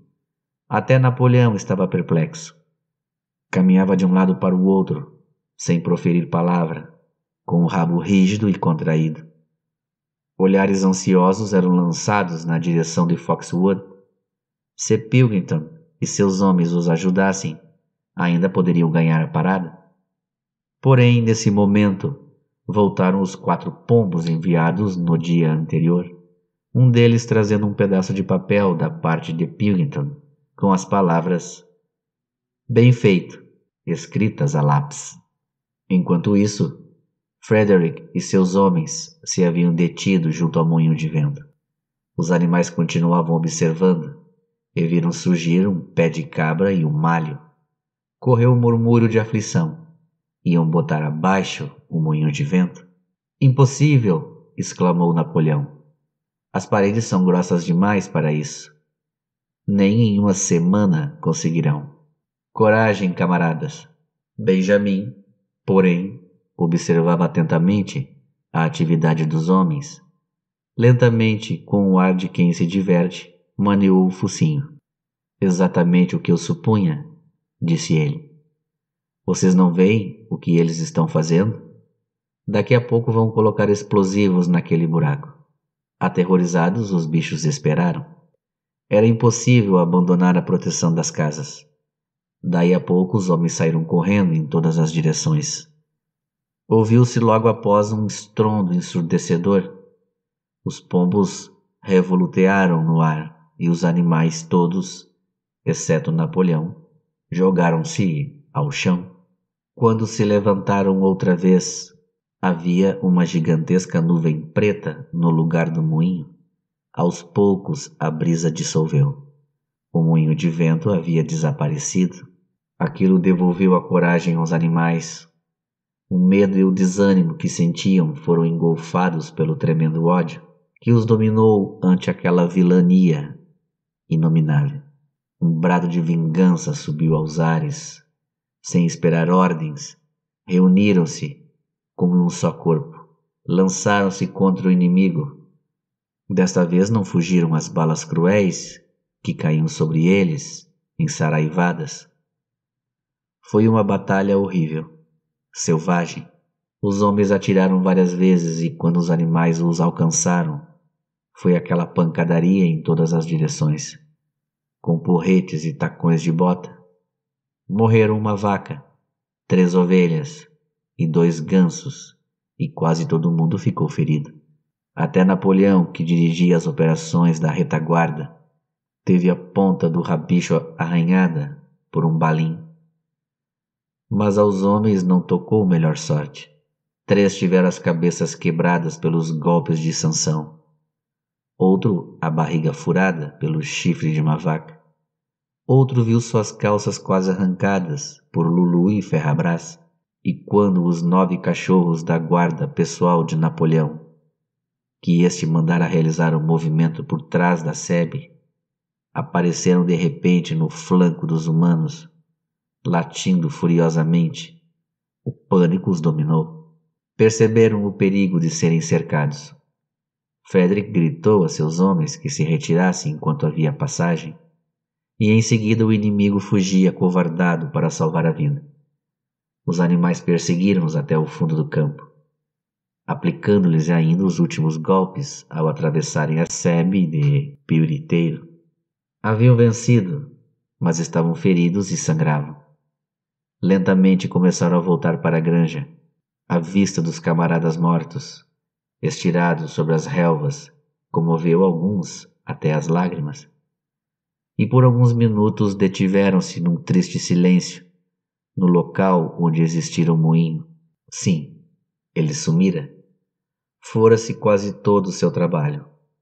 Até os alicerces estavam parcialmente destruídos. E desta vez, para reconstruí-lo, não bastaria erguer de novo pedras caídas ali mesmo. Esta também haviam desaparecido. A força da explosão as arremessara a centenas de metros. Era como se o moinho jamais houvesse existido. Ao se aproximarem do sítio, Garganta, que estivera inexplicavelmente ausente da luta, veio-lhes ao encontro, sacudindo o rabicho e guinchando de satisfação. E os animais ouviram, da direção da granja, o troar solene da espingarda. A troco de que está tirando aquela arma? perguntou Sansão. Para celebrar nossa vitória? exclamou Garganta. Vitória? Que vitória? gritou Sansão. Tinha os joelhos sangrando, perdera uma ferradura, rachara o casco e uma dúzia de chumbinhos haviam se alojado em sua pata traseira. Você pergunta que vitória, camarada? Mas então não expulsamos o inimigo do nosso solo, do solo sagrado da granja dos bichos? Mas eles destruíram o moinho de vento, nosso trabalho de dois anos. Que importa? Construiremos outro moinho de vento. Construiremos meia dúzia de moinhos de vento, se quisermos. Vocês não percebem, camaradas, que coisa formidável realizamos? O inimigo ocupava este mesmo chão em que pisamos. E agora, graças à liderança do camarada Napoleão, nós o ganhamos centímetro por centímetro. Quer dizer Ganhamos o que já era nosso, retrucou Sansão. Essa foi a nossa vitória, insistiu Garganta. Cochearam até o pátio. As balas sob o couro de Sansão aferroavam dolorosamente. Ele enxergava à sua frente, apesar da tarefa de reconstruir o moinho de vento, e mesmo em imaginação, já se atirava ao trabalho. Pela primeira vez, Entretanto, ocorreu-lhe a lembrança de que já tinha onze anos de idade e que talvez seus músculos já não tivessem a mesma força de antes. Porém, quando os bichos viram tremular a bandeira verde, ouviram a arma atirar novamente, sete tiros ao todo, e o discurso que Napoleão fez, congratulando-se com a atuação deles, pareceu-lhes que, afinal de contas, haviam obtido uma grande vitória. Os animais caídos na batalha tiveram funerais solenes. Sansão e Quitéria puxaram o carroção, que serviu de carro fúnebre, e Napoleão abriu, em pessoa, o cortejo. Dedicaram-se dois dias inteiros às celebrações. Houve canções, discursos, novos disparos da espingarda e o prêmio especial de uma maçã para cada animal 50 gramas de milho para cada ave e três biscoitos para cada cachorro. Proclamou-se que a batalha se chamaria Batalha do Moinho de Vento e que Napoleão havia criado nova comenda, a Ordem da Bandeira Verde, que conferira a si próprio. Em meio ao regozijo geral, o assunto das notas de dinheiro foi esquecido. Foi alguns dias depois disso que os porcos encontraram na adega da Casa Grande, uma caixa de uísque. Passara despercebida na época da ocupação. Naquela noite chegou da casa o som de uma cantoria, em que, para surpresa de todos, se ouviam trechos de bichos da Inglaterra. Mais ou menos às nove e meia da noite, Napoleão, usando um velho chapéu coco de Jones, foi visto claramente emergir da porta traseira dar um rápido galope em volta do pátio e sumir pela porta outra vez. Na manhã seguinte, um silêncio profundo tomara conta da casa. Ao que parecia, nenhum porco estava de pé, Eram quase nove horas quando apareceu Garganta, vacilante e deprimido, com os olhos embaçados, o rabicho mole, com um aspecto seriamente doentio. Chamou todo mundo e disse que tinha péssimas notícias para dar. O camarada Napoleão estava à morte. Ouviu-se um grito de lamento. Colocaram palha fora da porta da casa e os animais entraram pé ante pé. Com lágrimas nos olhos, perguntavam-se que seria dele se o líder faltasse. Correu o boato de que Bola de Neve afinal conseguira envenenar a comida de Napoleão.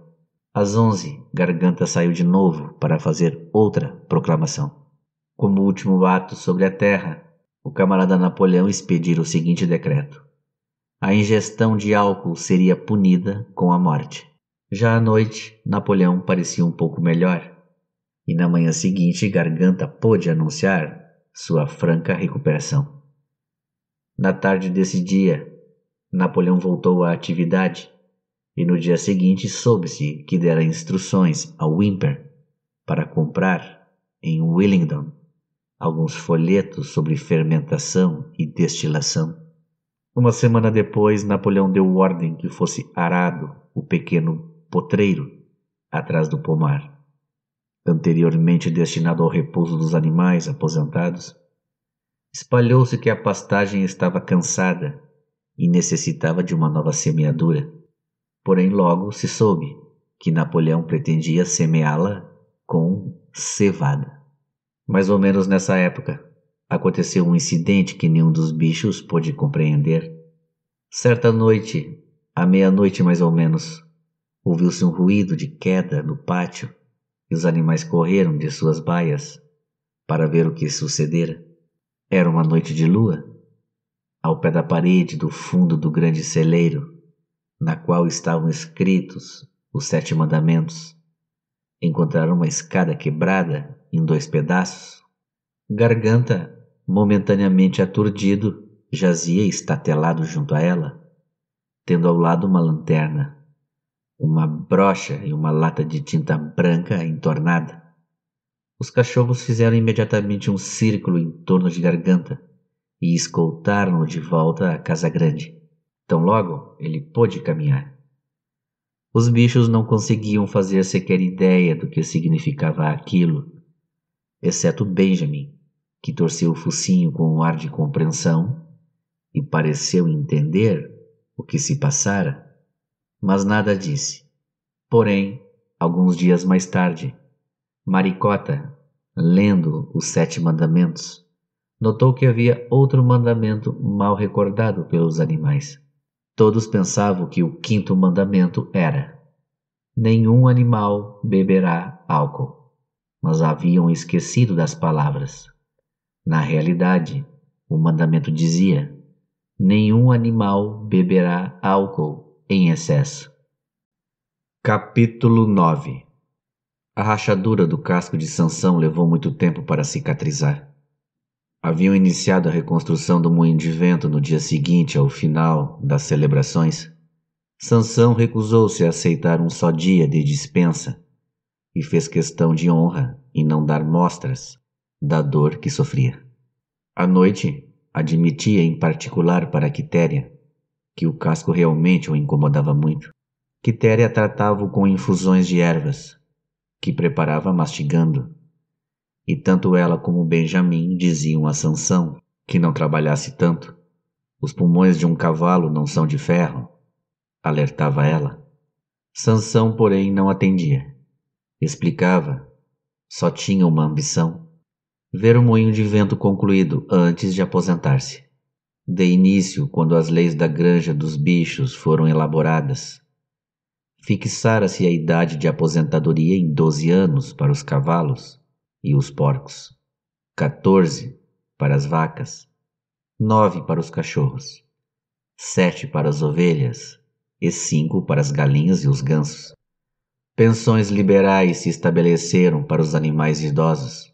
Até então nenhum bicho se aposentara, mas ultimamente o assunto vinha sendo objeto de frequentes conversas. Com o potreiro atrás do pomar, fora semeado com cevada, Dizia-se agora que um canto da pastagem grande seria cercado e reservado para os velhos. Para os cavalos, ao que se falava, a pensão seria de dois quilos e meio de milho por dia. No inverno, oito quilos de feno, mais uma cenoura, ou talvez uma maçã nos feriados. O décimo segundo aniversário de Sansão seria no fim do verão do ano seguinte. A vida ia dura. O inverno foi tão frio quanto o anterior e a quantidade de alimento ainda menor. Novamente foram reduzidas todas as rações, exceto a dos porcos e dos cachorros. Uma igualdade por demais rígida em matéria de rações, explicou Garganta, seria contrária ao espírito do animalismo. De qualquer maneira, não teve dificuldade em provar aos outros bichos que, na realidade, eles não sentiam falta de comida, a despeito das aparências. Naquele momento, de fato, fora necessário realizar um reajustamento das rações. Garganta sempre se referia a reajustamentos, nunca a reduções. Mas em comparação com o tempo de Jones, a diferença para melhor era enorme. Lendo os dados estatísticos em voz aguda e rápida, provou-lhes com riqueza de detalhes que eles recebiam mais aveia, mais feno e mais do que na época de Jones, que trabalhavam muito menos, que a água potável era de melhor qualidade, que viviam mais tempo, que havia mais palha nas baias e que as pulgas já não incomodavam tanto. Os animais acreditavam em cada palavra. Para falar a verdade, tanto Jones como tudo quanto ele representava já estavam quase apagados de suas memórias. Sabiam que a vida estava difícil e cheia de privações, que andavam constantemente com frio e com fome, e trabalhando sempre que não estavam dormindo. Mas, sem dúvida, antigamente fora muito pior. Gostavam de acreditar nisso. Além do mais, naqueles dias eram escravos, ao passo que agora eram livres. E tudo isso, afinal, fazia diferença, conforme Garganta sempre dizia. Havia agora muito mais bocas a alimentar. No outono, as quatro porcas haviam dado cria quase simultaneamente. Trinta e um leitõezinhos ao todo. Os leitões eram malhados, e sendo Napoleão o único cachaço da fazenda, era fácil adivinhar sua linguagem. Foi proclamado que mais tarde, quando comprassem tábuas e tijolos, seria construída uma escola no jardim da casa. Por enquanto, os leitões seriam instruídos pelo próprio Napoleão, na cozinha. Faziam seus exercícios no jardim e eram aconselhados a não brincar com os filhotes dos outros animais. Mais ou menos por essa época, estabeleceu-se que quando um porco e outro animal se encontrassem numa trilha, o outro animal cederia a passagem, e também que os porcos, qualquer que fosse seu grau hierárquico, teriam o direito de usar fitas vermelhas no rabicho aos domingos. A granja tivera um ano bem sucedido, mas faltava dinheiro. Era necessário comprar tijolos, areia e cal para a escola e economizar outra vez para a maquinaria do moinho de vento. Além disso, havia ainda necessidade de querosene para os lampiões e velas para a casa, açúcar para a mesa de Napoleão. Ele o proibira para os outros porcos, dizendo que engordava. Todo o suprimento normal de ferramentas, pregos, carvão, arame, ferro velho e biscoitos para cachorros. Venderam uma meda de feno e parte da colheita de batatas. E o contrato de fornecimento de ovos foi aumentado para 600 por semana de forma que as galinhas naquele ano mal puderam chocar o número de ovos que as mantivesse no mesmo nível. As rações já reduzidas em dezembro sofreram nova redução em fevereiro e foram proibidos os lampiões nos estábulos a fim de economizar querosene. Os porcos, entretanto, pareciam bastante bem, pelo menos ganhavam sempre alguns quilinhos. Uma tarde em fins de fevereiro correu pelo pátio proveniente da cozinha. Um cheiro gostoso, suculento, quentinho, como nunca os animais haviam sentido antes. Alguém disse que era cheiro de cevada cozida. Os bichos farejaram avidamente o ar e ficaram a pensar se não seria algum fervido para o jantar. Mas não apareceu fervido nenhum no jantar, e no domingo seguinte foi comunicado que toda a cevada passaria a ser reservada para os porcos. O campinho junto ao pomar já fora semeado com cevada, e logo transpirou a notícia de que cada porco estava recebendo diariamente a ração de meia garrafa de cerveja, sendo que Napoleão recebia meio galão e era servido na terrina da baixela de porcelana. Mas se havia grandes agruras a arrostar, estas eram compensadas pelo fato de a vida agora ter muito mais dignidade. Havia mais canções, mais discursos, mais desfiles. Napoleão determinara que uma vez por semana houvesse uma coisa chamada manifestação espontânea, cuja finalidade era comemorar as lutas e triunfos da granja dos bichos.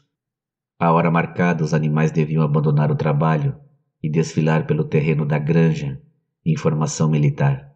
Os porcos à frente, depois os cavalos, depois as vacas, depois as ovelhas e, por último, as aves. Os cachorros enquadravam a formatura e a testa marchava o garnizé preto de Napoleão. Sansão e Quitéria conduziam sempre a bandeira verde com o desenho do chifre e da ferradura, e a legenda Viva o camarada Napoleão. A seguir havia a recitação de poemas compostos em honra de Napoleão. Um discurso de garganta dando detalhes dos últimos aumentos na produção de gêneros. E no momento exato a espingarda dava um tiro. Quem mais gostava das manifestações espontâneas eram as ovelhas, e se alguém se queixava, havia quem o fizesse, quando os porcos ou os cachorros não andavam por perto, de que aquele negócio era uma perda de tempo e obrigava a ficar bom pedaço no frio. As ovelhas invariavelmente calavam insatisfeito com um ensurdecedor balido de quatro pernas bom, duas pernas ruim. De modo geral, porém, os bichos gostavam daquelas celebrações. Achavam confortador serem relembrados de que, afinal, não tinham patrões e todo o trabalho que enfrentavam era em seu próprio benefício. E assim, à custa das cantorias, dos desfiles, das estatísticas de garganta, do estrondo da espingarda, do cocoricó do garnizé e do drapejar da bandeira, conseguiam esquecer que estavam de barriga vazia, pelo menos a maior parte do tempo. Em abril, a Granja dos Bichos foi proclamada república e houve necessidade de eleger um presidente. Apareceu só um candidato, Napoleão, que foi eleito por unanimidade. No mesmo dia, notificou-se a descoberta de novos documentos que revelavam mais detalhes sobre a cumplicidade de Bola de Neve com Jones. Soube-se que Bola de Neve não apenas tentara perder a Batalha do Estábulo, por meio de seu estratagema, conforme os animais já tinham tomado conhecimento, mas lutar abertamente ao lado de Jones. Na realidade, fora ele o verdadeiro líder das forças humanas e jogara-se a batalha com as palavras Viva a humanidade nos lábios. Os ferimentos em suas costas, que alguns poucos bichos lembravam-se de ter visto, haviam sido causados pelos dentes de Napoleão. Em meio ao verão, Moisés, o corvo, reapareceu inesperadamente na granja após uma ausência de vários anos. Continuava o mesmo, não trabalhava e contava as histórias de sempre a respeito da montanha de açúcar. Encarapitava-se num toco de árvore e arengava durante horas para quem quisesse ouvir. Lá em cima, camaradas, dizia ele, solenemente, apontando o céu com a bicanca. Lá em cima, pouco além daquela nuvem preta, ali está ela, a montanha de açúcar, o lugar feliz onde nós, pobres animais, descansaremos para sempre desta nossa vida de trabalho. Chegava a afirmar haver estado lá, num dos voos mais altos, e ter visto os infindos campos de trevo e os bolos de linhaça e o açúcar crescendo nas sebes Muitos bichos acreditavam.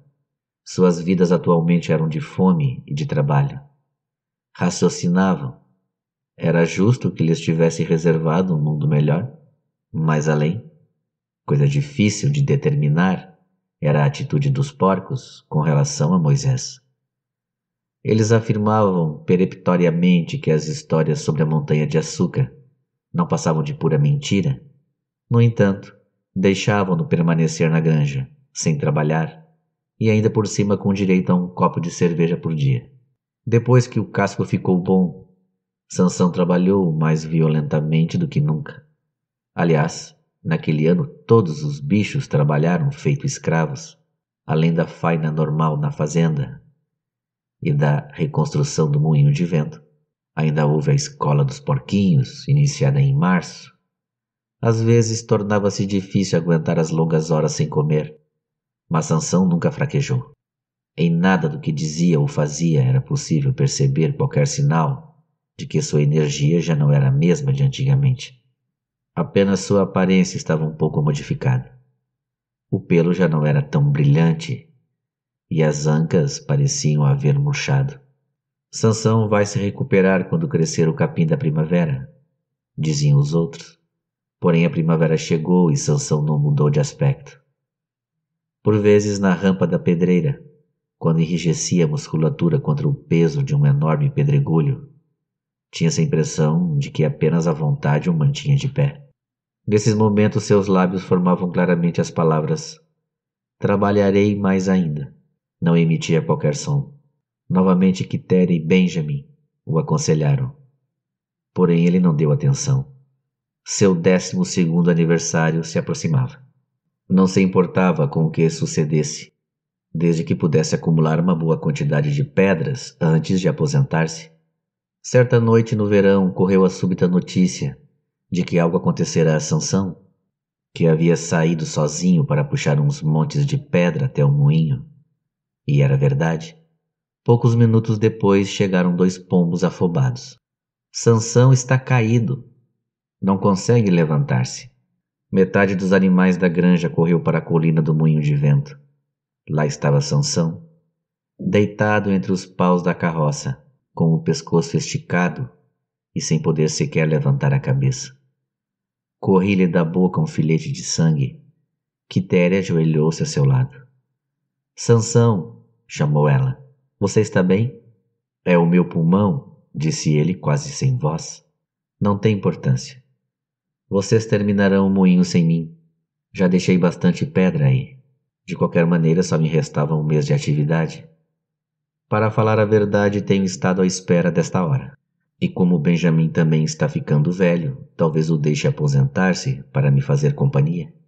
Precisamos de socorro imediatamente, gritou Quitéria. Alguém vá correndo contar à garganta o que aconteceu. Os animais todos correram à casa grande para dar a notícia à garganta. Só ficaram Quitéria e Benjamin, que se deitou ao lado de Sansão e, sem dizer uma palavra, ficou a espantar-lhes as moscas com o rabo comprido. Mais ou menos um quarto de hora depois, Garganta apareceu, cheio de simpatia e preocupação.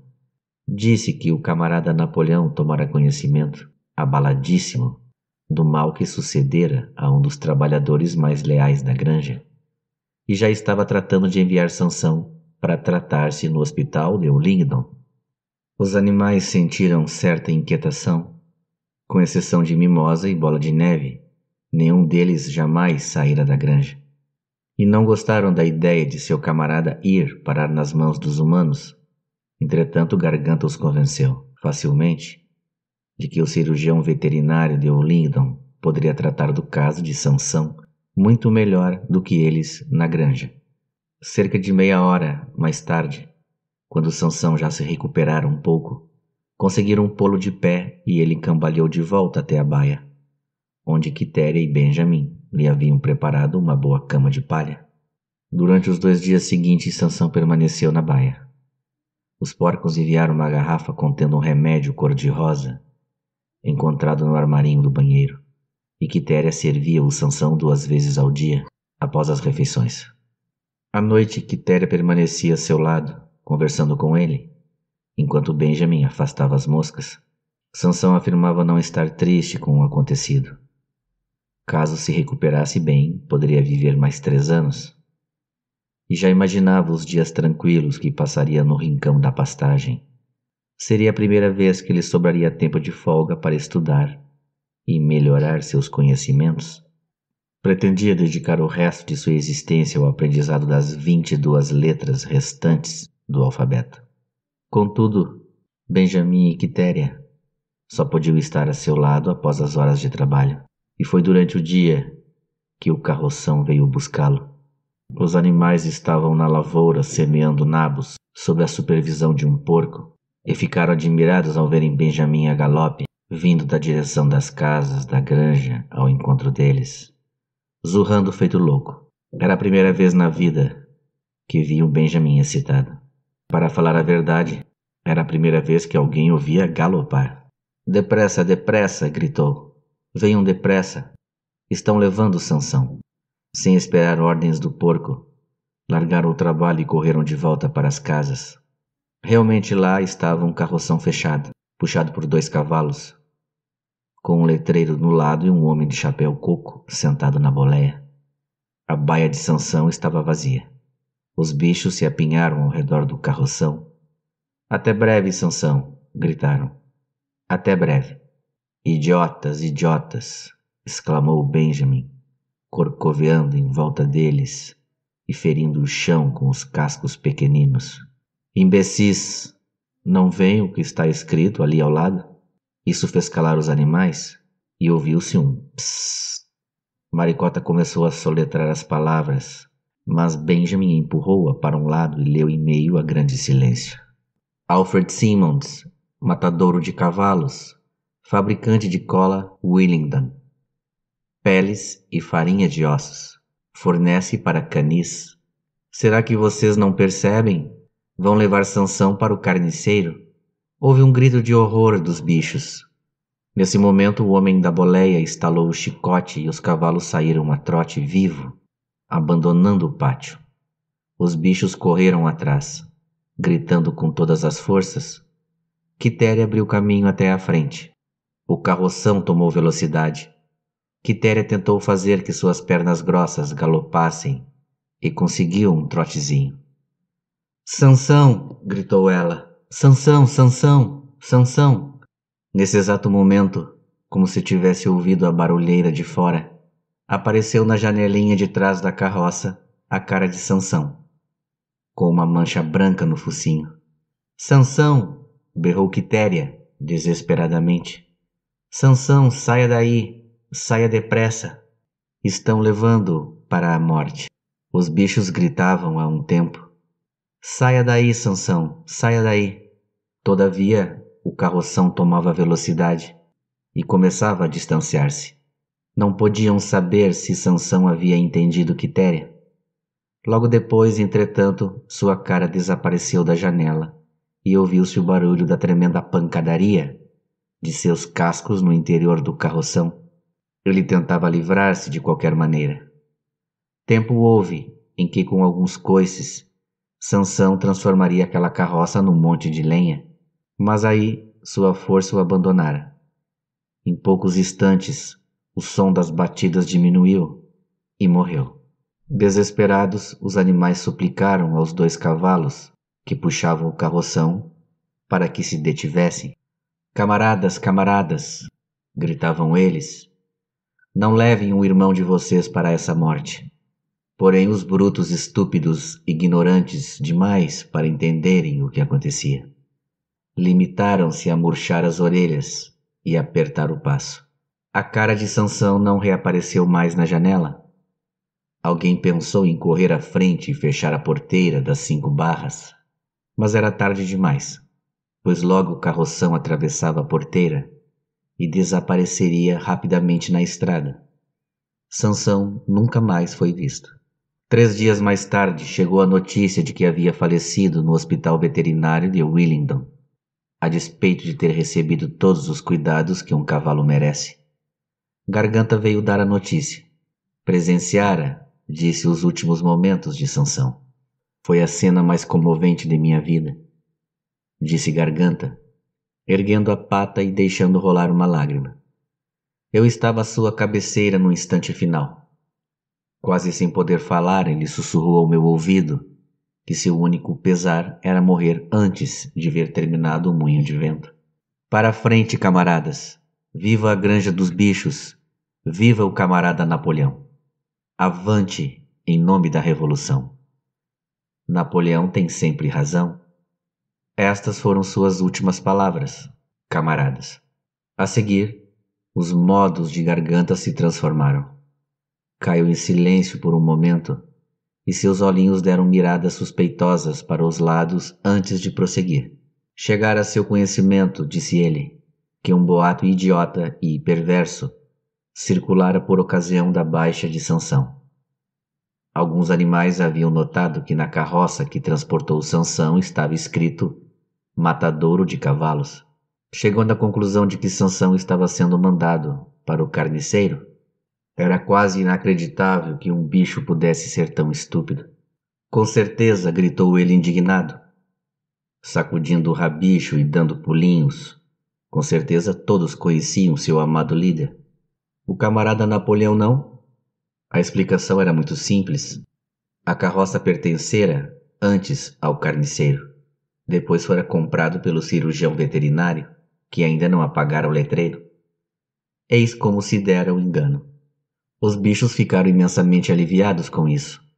E quando Garganta continuou dando detalhes sobre a câmara mortuária de Sansão, o extraordinário cuidado que recebeu e os caríssimos remédios que Napoleão mandara comprar sem olhar o preço, desapareceram suas últimas dúvidas e a tristeza pelo camarada morto foi mitigada pela certeza de que, pelo menos, morrera feliz.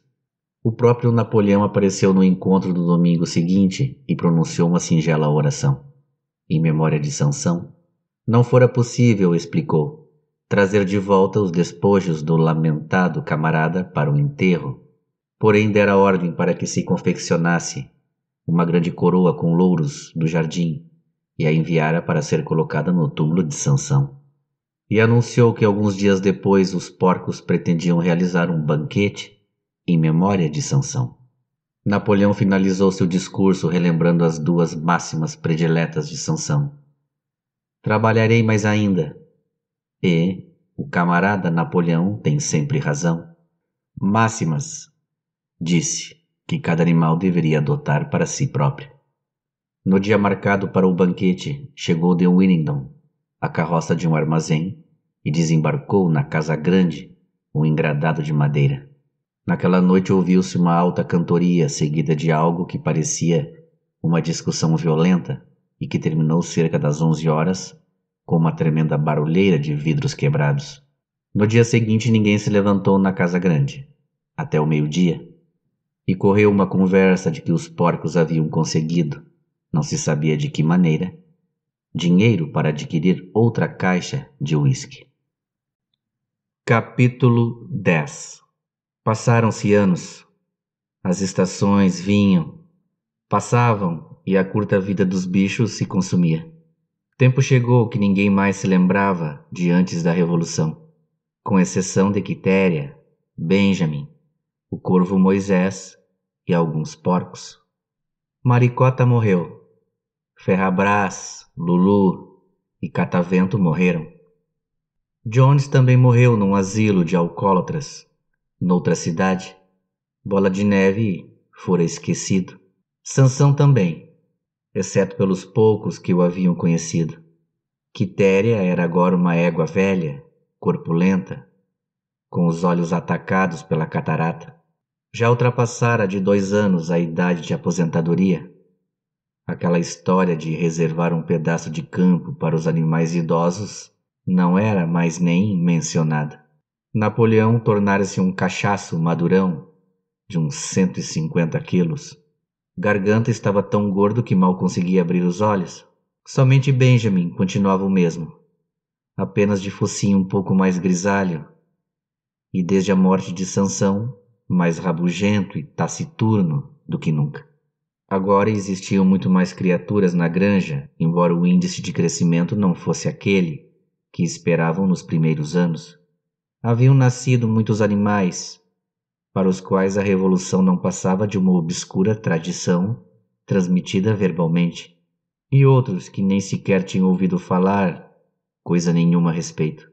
A granja contava agora com três cavalos, além de Quitéria. Eram bichos formidáveis, trabalhadores incansáveis, bons camaradas, mas muito estúpidos. Nenhum se mostrou capaz de aprender o alfabeto além da letra B. Aceitavam tudo quanto lhes era dito a respeito da revolução e dos princípios do animalismo, especialmente por Quitéria, a quem dedicavam um respeito filial. Mas era duvidoso que entendessem lá grande coisa. A granja prosperava e estava mais bem organizada. Fora até aumentada pela compra de dois tratos de terra ao Sr. Pilkington. O moinho de vento, afinal, fora concluído com êxito e a granja possuía uma debulhadeira e um elevador de feno próprio, e construções novas se haviam erguido. Wimper comprara uma aranha.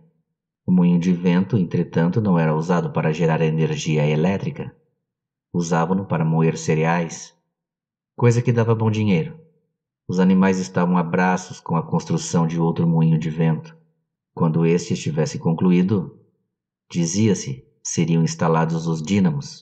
Mas naquele luxo que Bola de Neve lhes falara certa vez, baias com luz elétrica e água quente e fria. E na semana de três dias não se falava mais. Napoleão denunciara tais ideias como contrárias aos princípios do animalismo. A verdadeira felicidade, dizia ele, estava em trabalhar bastante e viver frugalmente.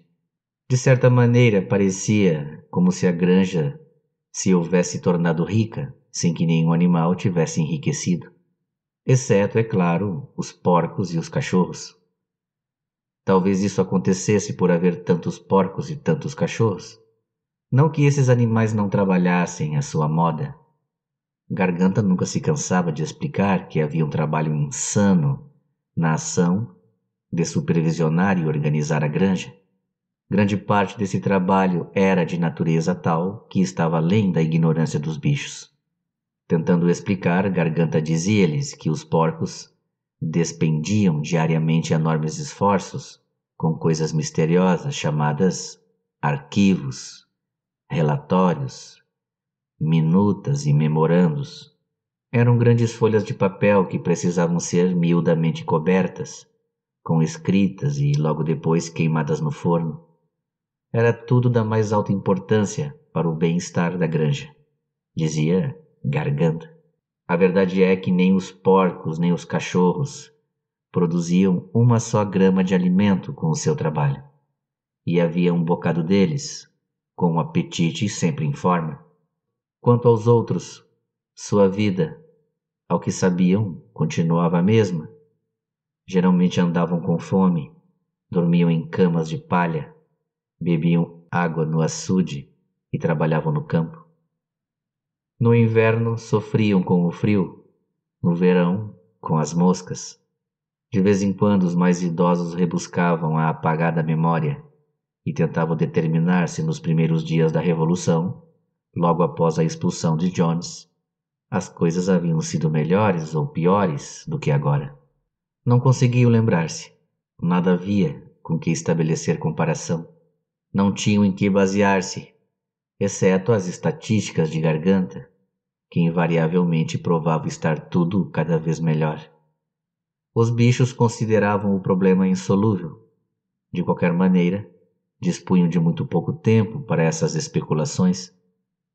Apenas o velho Benjamin afirmava lembrar-se de cada detalhe de sua longa vida e saber que as coisas nunca haviam estado e nunca haveriam de ficar, nem muito melhor, nem muito pior.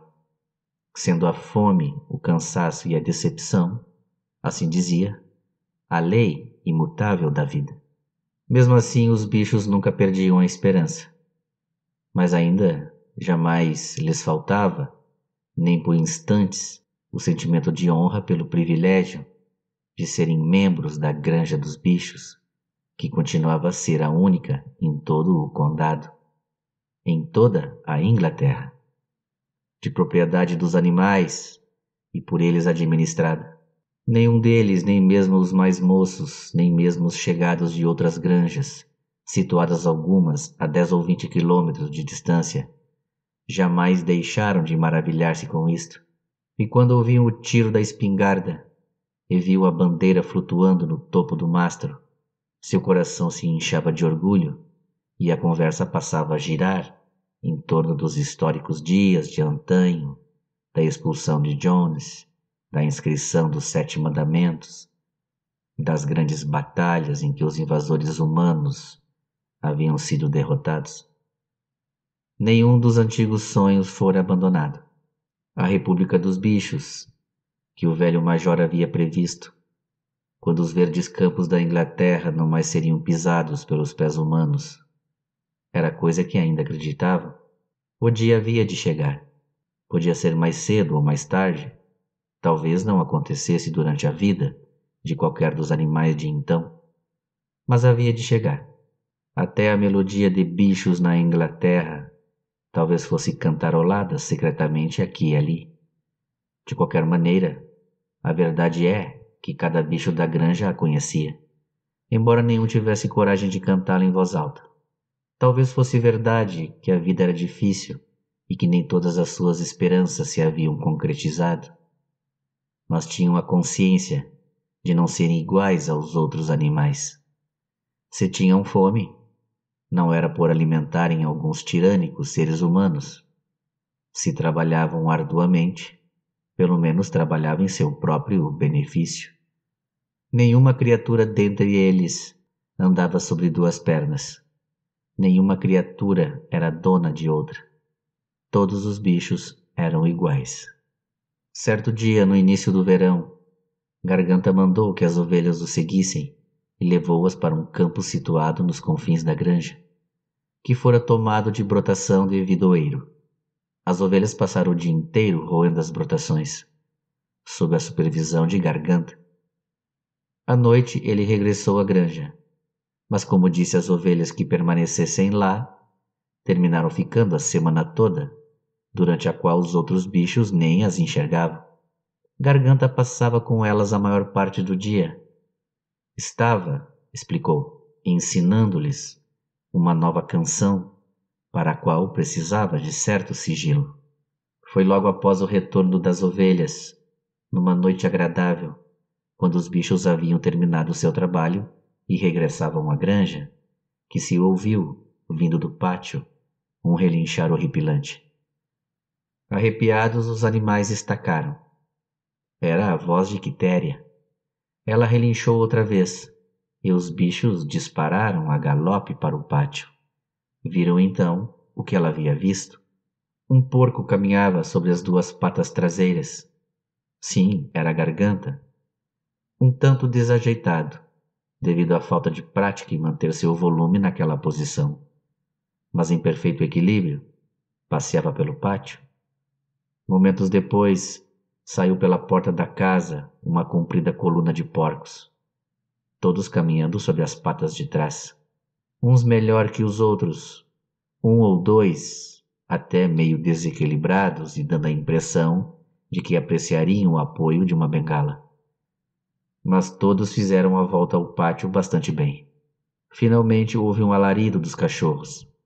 Ouviu-se o cocoricó esganiçado do garnizé e emergiu Napoleão, majestosamente, desempenado, largando olhares arrogantes para os lados, com os cachorros brincando à sua volta. Trazia nas mãos um chicote. Houve um silêncio mortal Surpresos, aterrorizados, uns junto aos outros, os bichos olhavam a fila de porcos marchar lentamente em redor do pátio. Pareceu-lhes enxergar o mundo de cabeça para baixo. Então veio um momento em que, passado o choque e a despeito de tudo, a despeito do terror dos cachorros e do hábito arraigado após tantos anos de nunca se queixarem, nunca criticarem, pouco importava o que sucedesse poderiam lançar uma palavra de protesto. Porém, exatamente nesse instante, como se obedecessem a um sinal combinado, as ovelhas, em uníssono, estrondaram no espetacular balido. Quatro pernas, bom. Duas pernas, melhor. Quatro pernas, bom. Duas pernas, melhor. Quatro pernas, bom. Duas pernas, melhor. Baliram durante cinco minutos sem cessar. E quando se calaram, fora-se a oportunidade da palavra de protesto, pois os porcos já haviam voltado para dentro da casa. Benjamin sentiu um focinho esfregar-lhe no ombro. Era Quitéria. Seus olhos pareciam mais encobertos que nunca. Sem dizer palavra, ela o puxou delicadamente pela crina, levando-o até o fundo do grande celeiro, onde estavam escritos os sete mandamentos. Durante um ou dois minutos, ficaram olhando a parede alcatroada com o grande letreiro branco. Minha vista está falhando, disse ela finalmente. Mesmo quando eu era moça, não conseguia ler o que estava escrito aí. Mas parece-me agora que parede está meio diferente. Os sete mandamentos são os mesmos de sempre, Benjamin. Pela primeira vez, Benjamin consentiu em quebrar sua norma e leu para ela o que estava escrito na parede. Nada havia agora senão um único mandamento dizendo: Todos os animais são iguais, mas alguns animais são mais iguais do que os outros. Depois disso, não foi de estranhar que no dia seguinte os porcos que supervisionavam o trabalho da granja andassem com chicotes nas patas. Nem estranharam ao saber que os porcos haviam comprado um aparelho de rádio, que estavam tratando da instalação de um telefone e da assinatura de jornais e revistas. Não estranharam quando Napoleão foi visto passear nos jardins da casa com um cachimbo na mão, nem quando os porcos se assenhorearam das roupas do Sr. Jones e passaram a usá-las, sendo que Napoleão apresentou-se vestindo um casaco negro, calças de caçador e perneiras de couro, enquanto sua porca favorita surgia com um vestido de seda que a Sra. Jones usava aos domingos. Uma semana mais tarde, após o meio-dia, apareceram numerosas charretes subindo rumo à granja. Uma representação de granjeiros vizinhos fora convidada a realizar uma visita de inspeção. Toda a granja lhe foi mostrada e eles expressaram admiração por tudo quanto viram, especialmente pelo moinho de vento. Os bichos estavam limpando a lavoura de nabos, trabalhavam diligentemente, mal levantando o olhar do chão e sem saber a quem temer mais, se os porcos, se os visitantes humanos. Naquela noite, altas risadas e cantorias chegaram da casa. Lá pelas tantas, ante o som das vozes misturadas, os bichos encheram-se de curiosidade. Que estaria acontecendo lá dentro, agora que, pela primeira vez, encontrava-se, em termos de igualdade, os animais e os seres humanos? Pensando todos a mesma coisa, dirigiam-se furtivamente para o jardim da casa. No portão titubearam, um tanto temerosos, mas Quitéria deu o exemplo e entrou. Andaram, pé ante pé, até a casa, e os mais altos espiaram pela janela da sala de jantar. Lá dentro, em volta de uma mesa grande, estavam sentados meia dúzia de granjeiros e meia dúzia de porcos, dentre os mais eminentes, Napoleão no lugar de honra, à cabeceira. Os porcos pareciam perfeitamente à vontade em suas cadeiras. O grupo estivera jogando cartas, mas havia interrompido o jogo por instantes, evidentemente para os brindes. Um grande jarro circulava e os copos se enchiam de cerveja. Ninguém notou as caras admiradas dos bichos que espiavam pela janela. O Sr. Pingleton de Foxwood levantara-se com o copo na mão. Disse que ia convidar os presentes para um brinde, mas antes desejava dizer algumas palavras que julgava de seu dever pronunciar. Era motivo de grande satisfação para ele, e tinha certeza de que falava por todos os demais. Sentir que o longo período de desconfianças e desentendimentos chegara ao fim.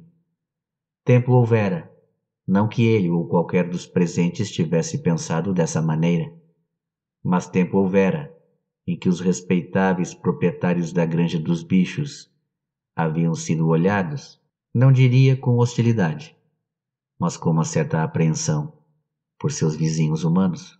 Ocorreram incidentes desagradáveis e ideias errôneas haviam circulado. Parecera a muitos que a existência de uma granja, pertencente a animais e por eles administrada, era coisa um tanto fora do comum e poderia vir a causar transtornos à vizinhança.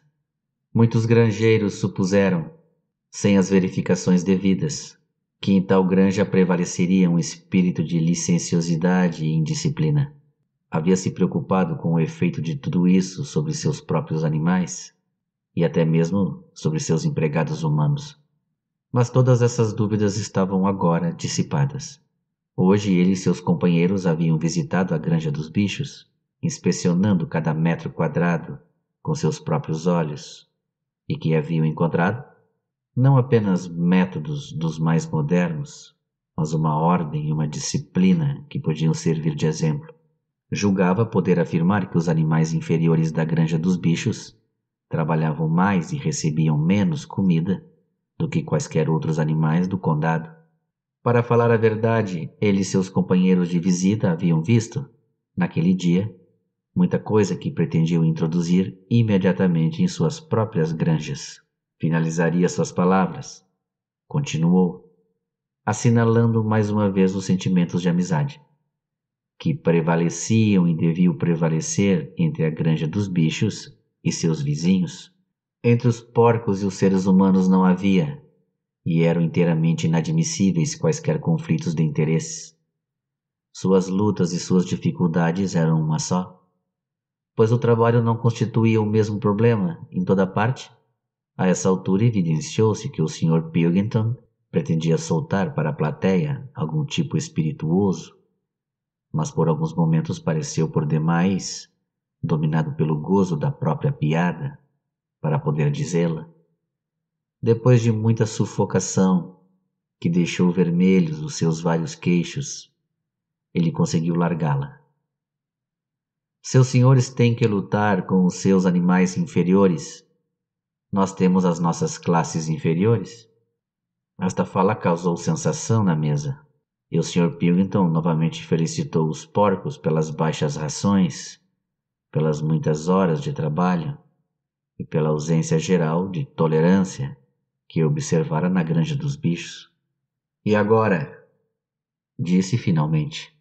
Convidava o grupo a levantar-se e verificar se os copos estavam cheios.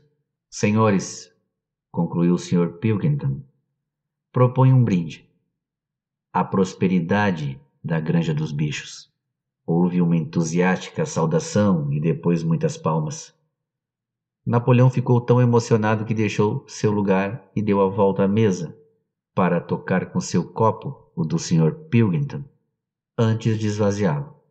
Quando as felicitações acabaram, Napoleão, que permanecera de pé, disse que iria também proferir algumas palavras. Como todos os discursos de Napoleão, aquele foi curto e direto ao assunto. Também ele disse, alegrava-se de que o período de desentendimentos tivesse chegado ao fim. Por longo tempo houve rumores inventados, acreditava, e tinha razões para isso, por algum inimigo mal intencionado, de que havia algo de subversivo e mesmo de revolucionário nos pontos de vista seus e de seus companheiros. Tinham passado por desejosos de fomentar a rebelião entre os animais das granjas vizinhas. Nada podia estar mais longe da verdade. Seu único desejo agora como no passado, era viver em paz e gozando de relações normais com os seus vizinhos. Aquela granja que ele tinha a honra de governar, acrescentou, era um empreendimento cooperativo. As escrituras que estavam em seu poder conferiam a posse a todos os porcos. Não acreditava que ainda restassem quaisquer das velhas suspeitas, mas certas modificações na rotina da granja haviam sido introduzidas com o fito de promover uma confiança ainda maior. Até aquele momento, os bichos haviam conservado o hábito imbecil de dirigirem-se uns aos outros pela alcunha de camarada. Isso ia acabar. Existira também um costume insólito, cuja origem era desconhecida, de marchar aos domingos, desfilando frente a uma caveira de porco pregada num poste. Isso também ia acabar. E a caveira já foi enterrada. Os visitantes com certeza teriam observado também a bandeira verde que tremulava no poste. Nesse caso, teriam notado que as antigas figuras do chifre e da ferradura, em branco, haviam sido suprimidas. Daí por diante seria uma bandeira puramente verde. Tinha apenas um reparo, disse, a fazer ao excelente discurso, bem próprio de um bom vizinho, do Sr. Pilkington. O Sr. Pilkington referia-se o tempo todo à Granja dos Bichos.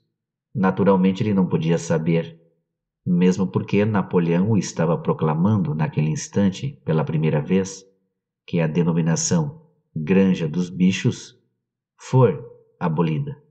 A partir daquele momento, sua granja voltaria a ser conhecida como Granja do Solar, que, aliás, parecia-lhe era seu nome correto e original.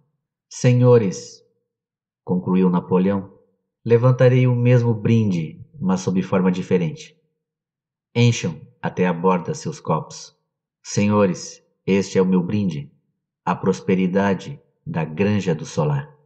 Houve as mesmas calorosas felicitações de antes, e os copos foram esvaziados. Mas aos olhos dos bichos, que lá de fora espiavam, pareceu que algo estranho estava acontecendo. Que diabo teria alterado a cara dos porcos? Os olhos embaçados de Quitéria iam de uma cara para outra. Algumas tinham cinco queixos, outras quatro, outras três, mas alguma coisa parecia misturá-las e modificá-las. Então, findos os aplausos, o grupo pegou novamente nas cartas, reencetando o jogo interrompido, e os animais afastaram-se silenciosamente. Não haviam, porém, chegado sequer a vinte metros quando se detiveram ante o vozerio alto que vinha lá de dentro. Voltaram correndo e tornaram a espiar pela janela. Realmente, era uma discussão violenta. Gritos socos na mesa, olhares suspeitos, furiosas negativas. A origem do caso, ao que parecia, fora o fato de Napoleão e o Sr. Pilkington haverem, ao mesmo tempo, jogado um as de espadas. Doze vozes gritavam cheias de ódio e eram todas iguais. Não havia dúvida. Agora, quanto ao que sucedera à fisionomia dos porcos, as criaturas de fora olhavam de um porco para um homem, de um homem para um porco e de um porco para um homem outra vez. Mas já se tornara impossível distinguir quem era homem, quem era porco. Bem, pessoal, chegamos então ao final de mais um livro. Quero aproveitar aqui rapidamente que agora temos a Abra Comunidade. Se vocês quiserem lá comentar alguma coisa, dar alguma dica, opinar, enfim. Curtam, se inscrevam. Até o próximo audiolivro. Um abraço a todos Fiquem com Deus.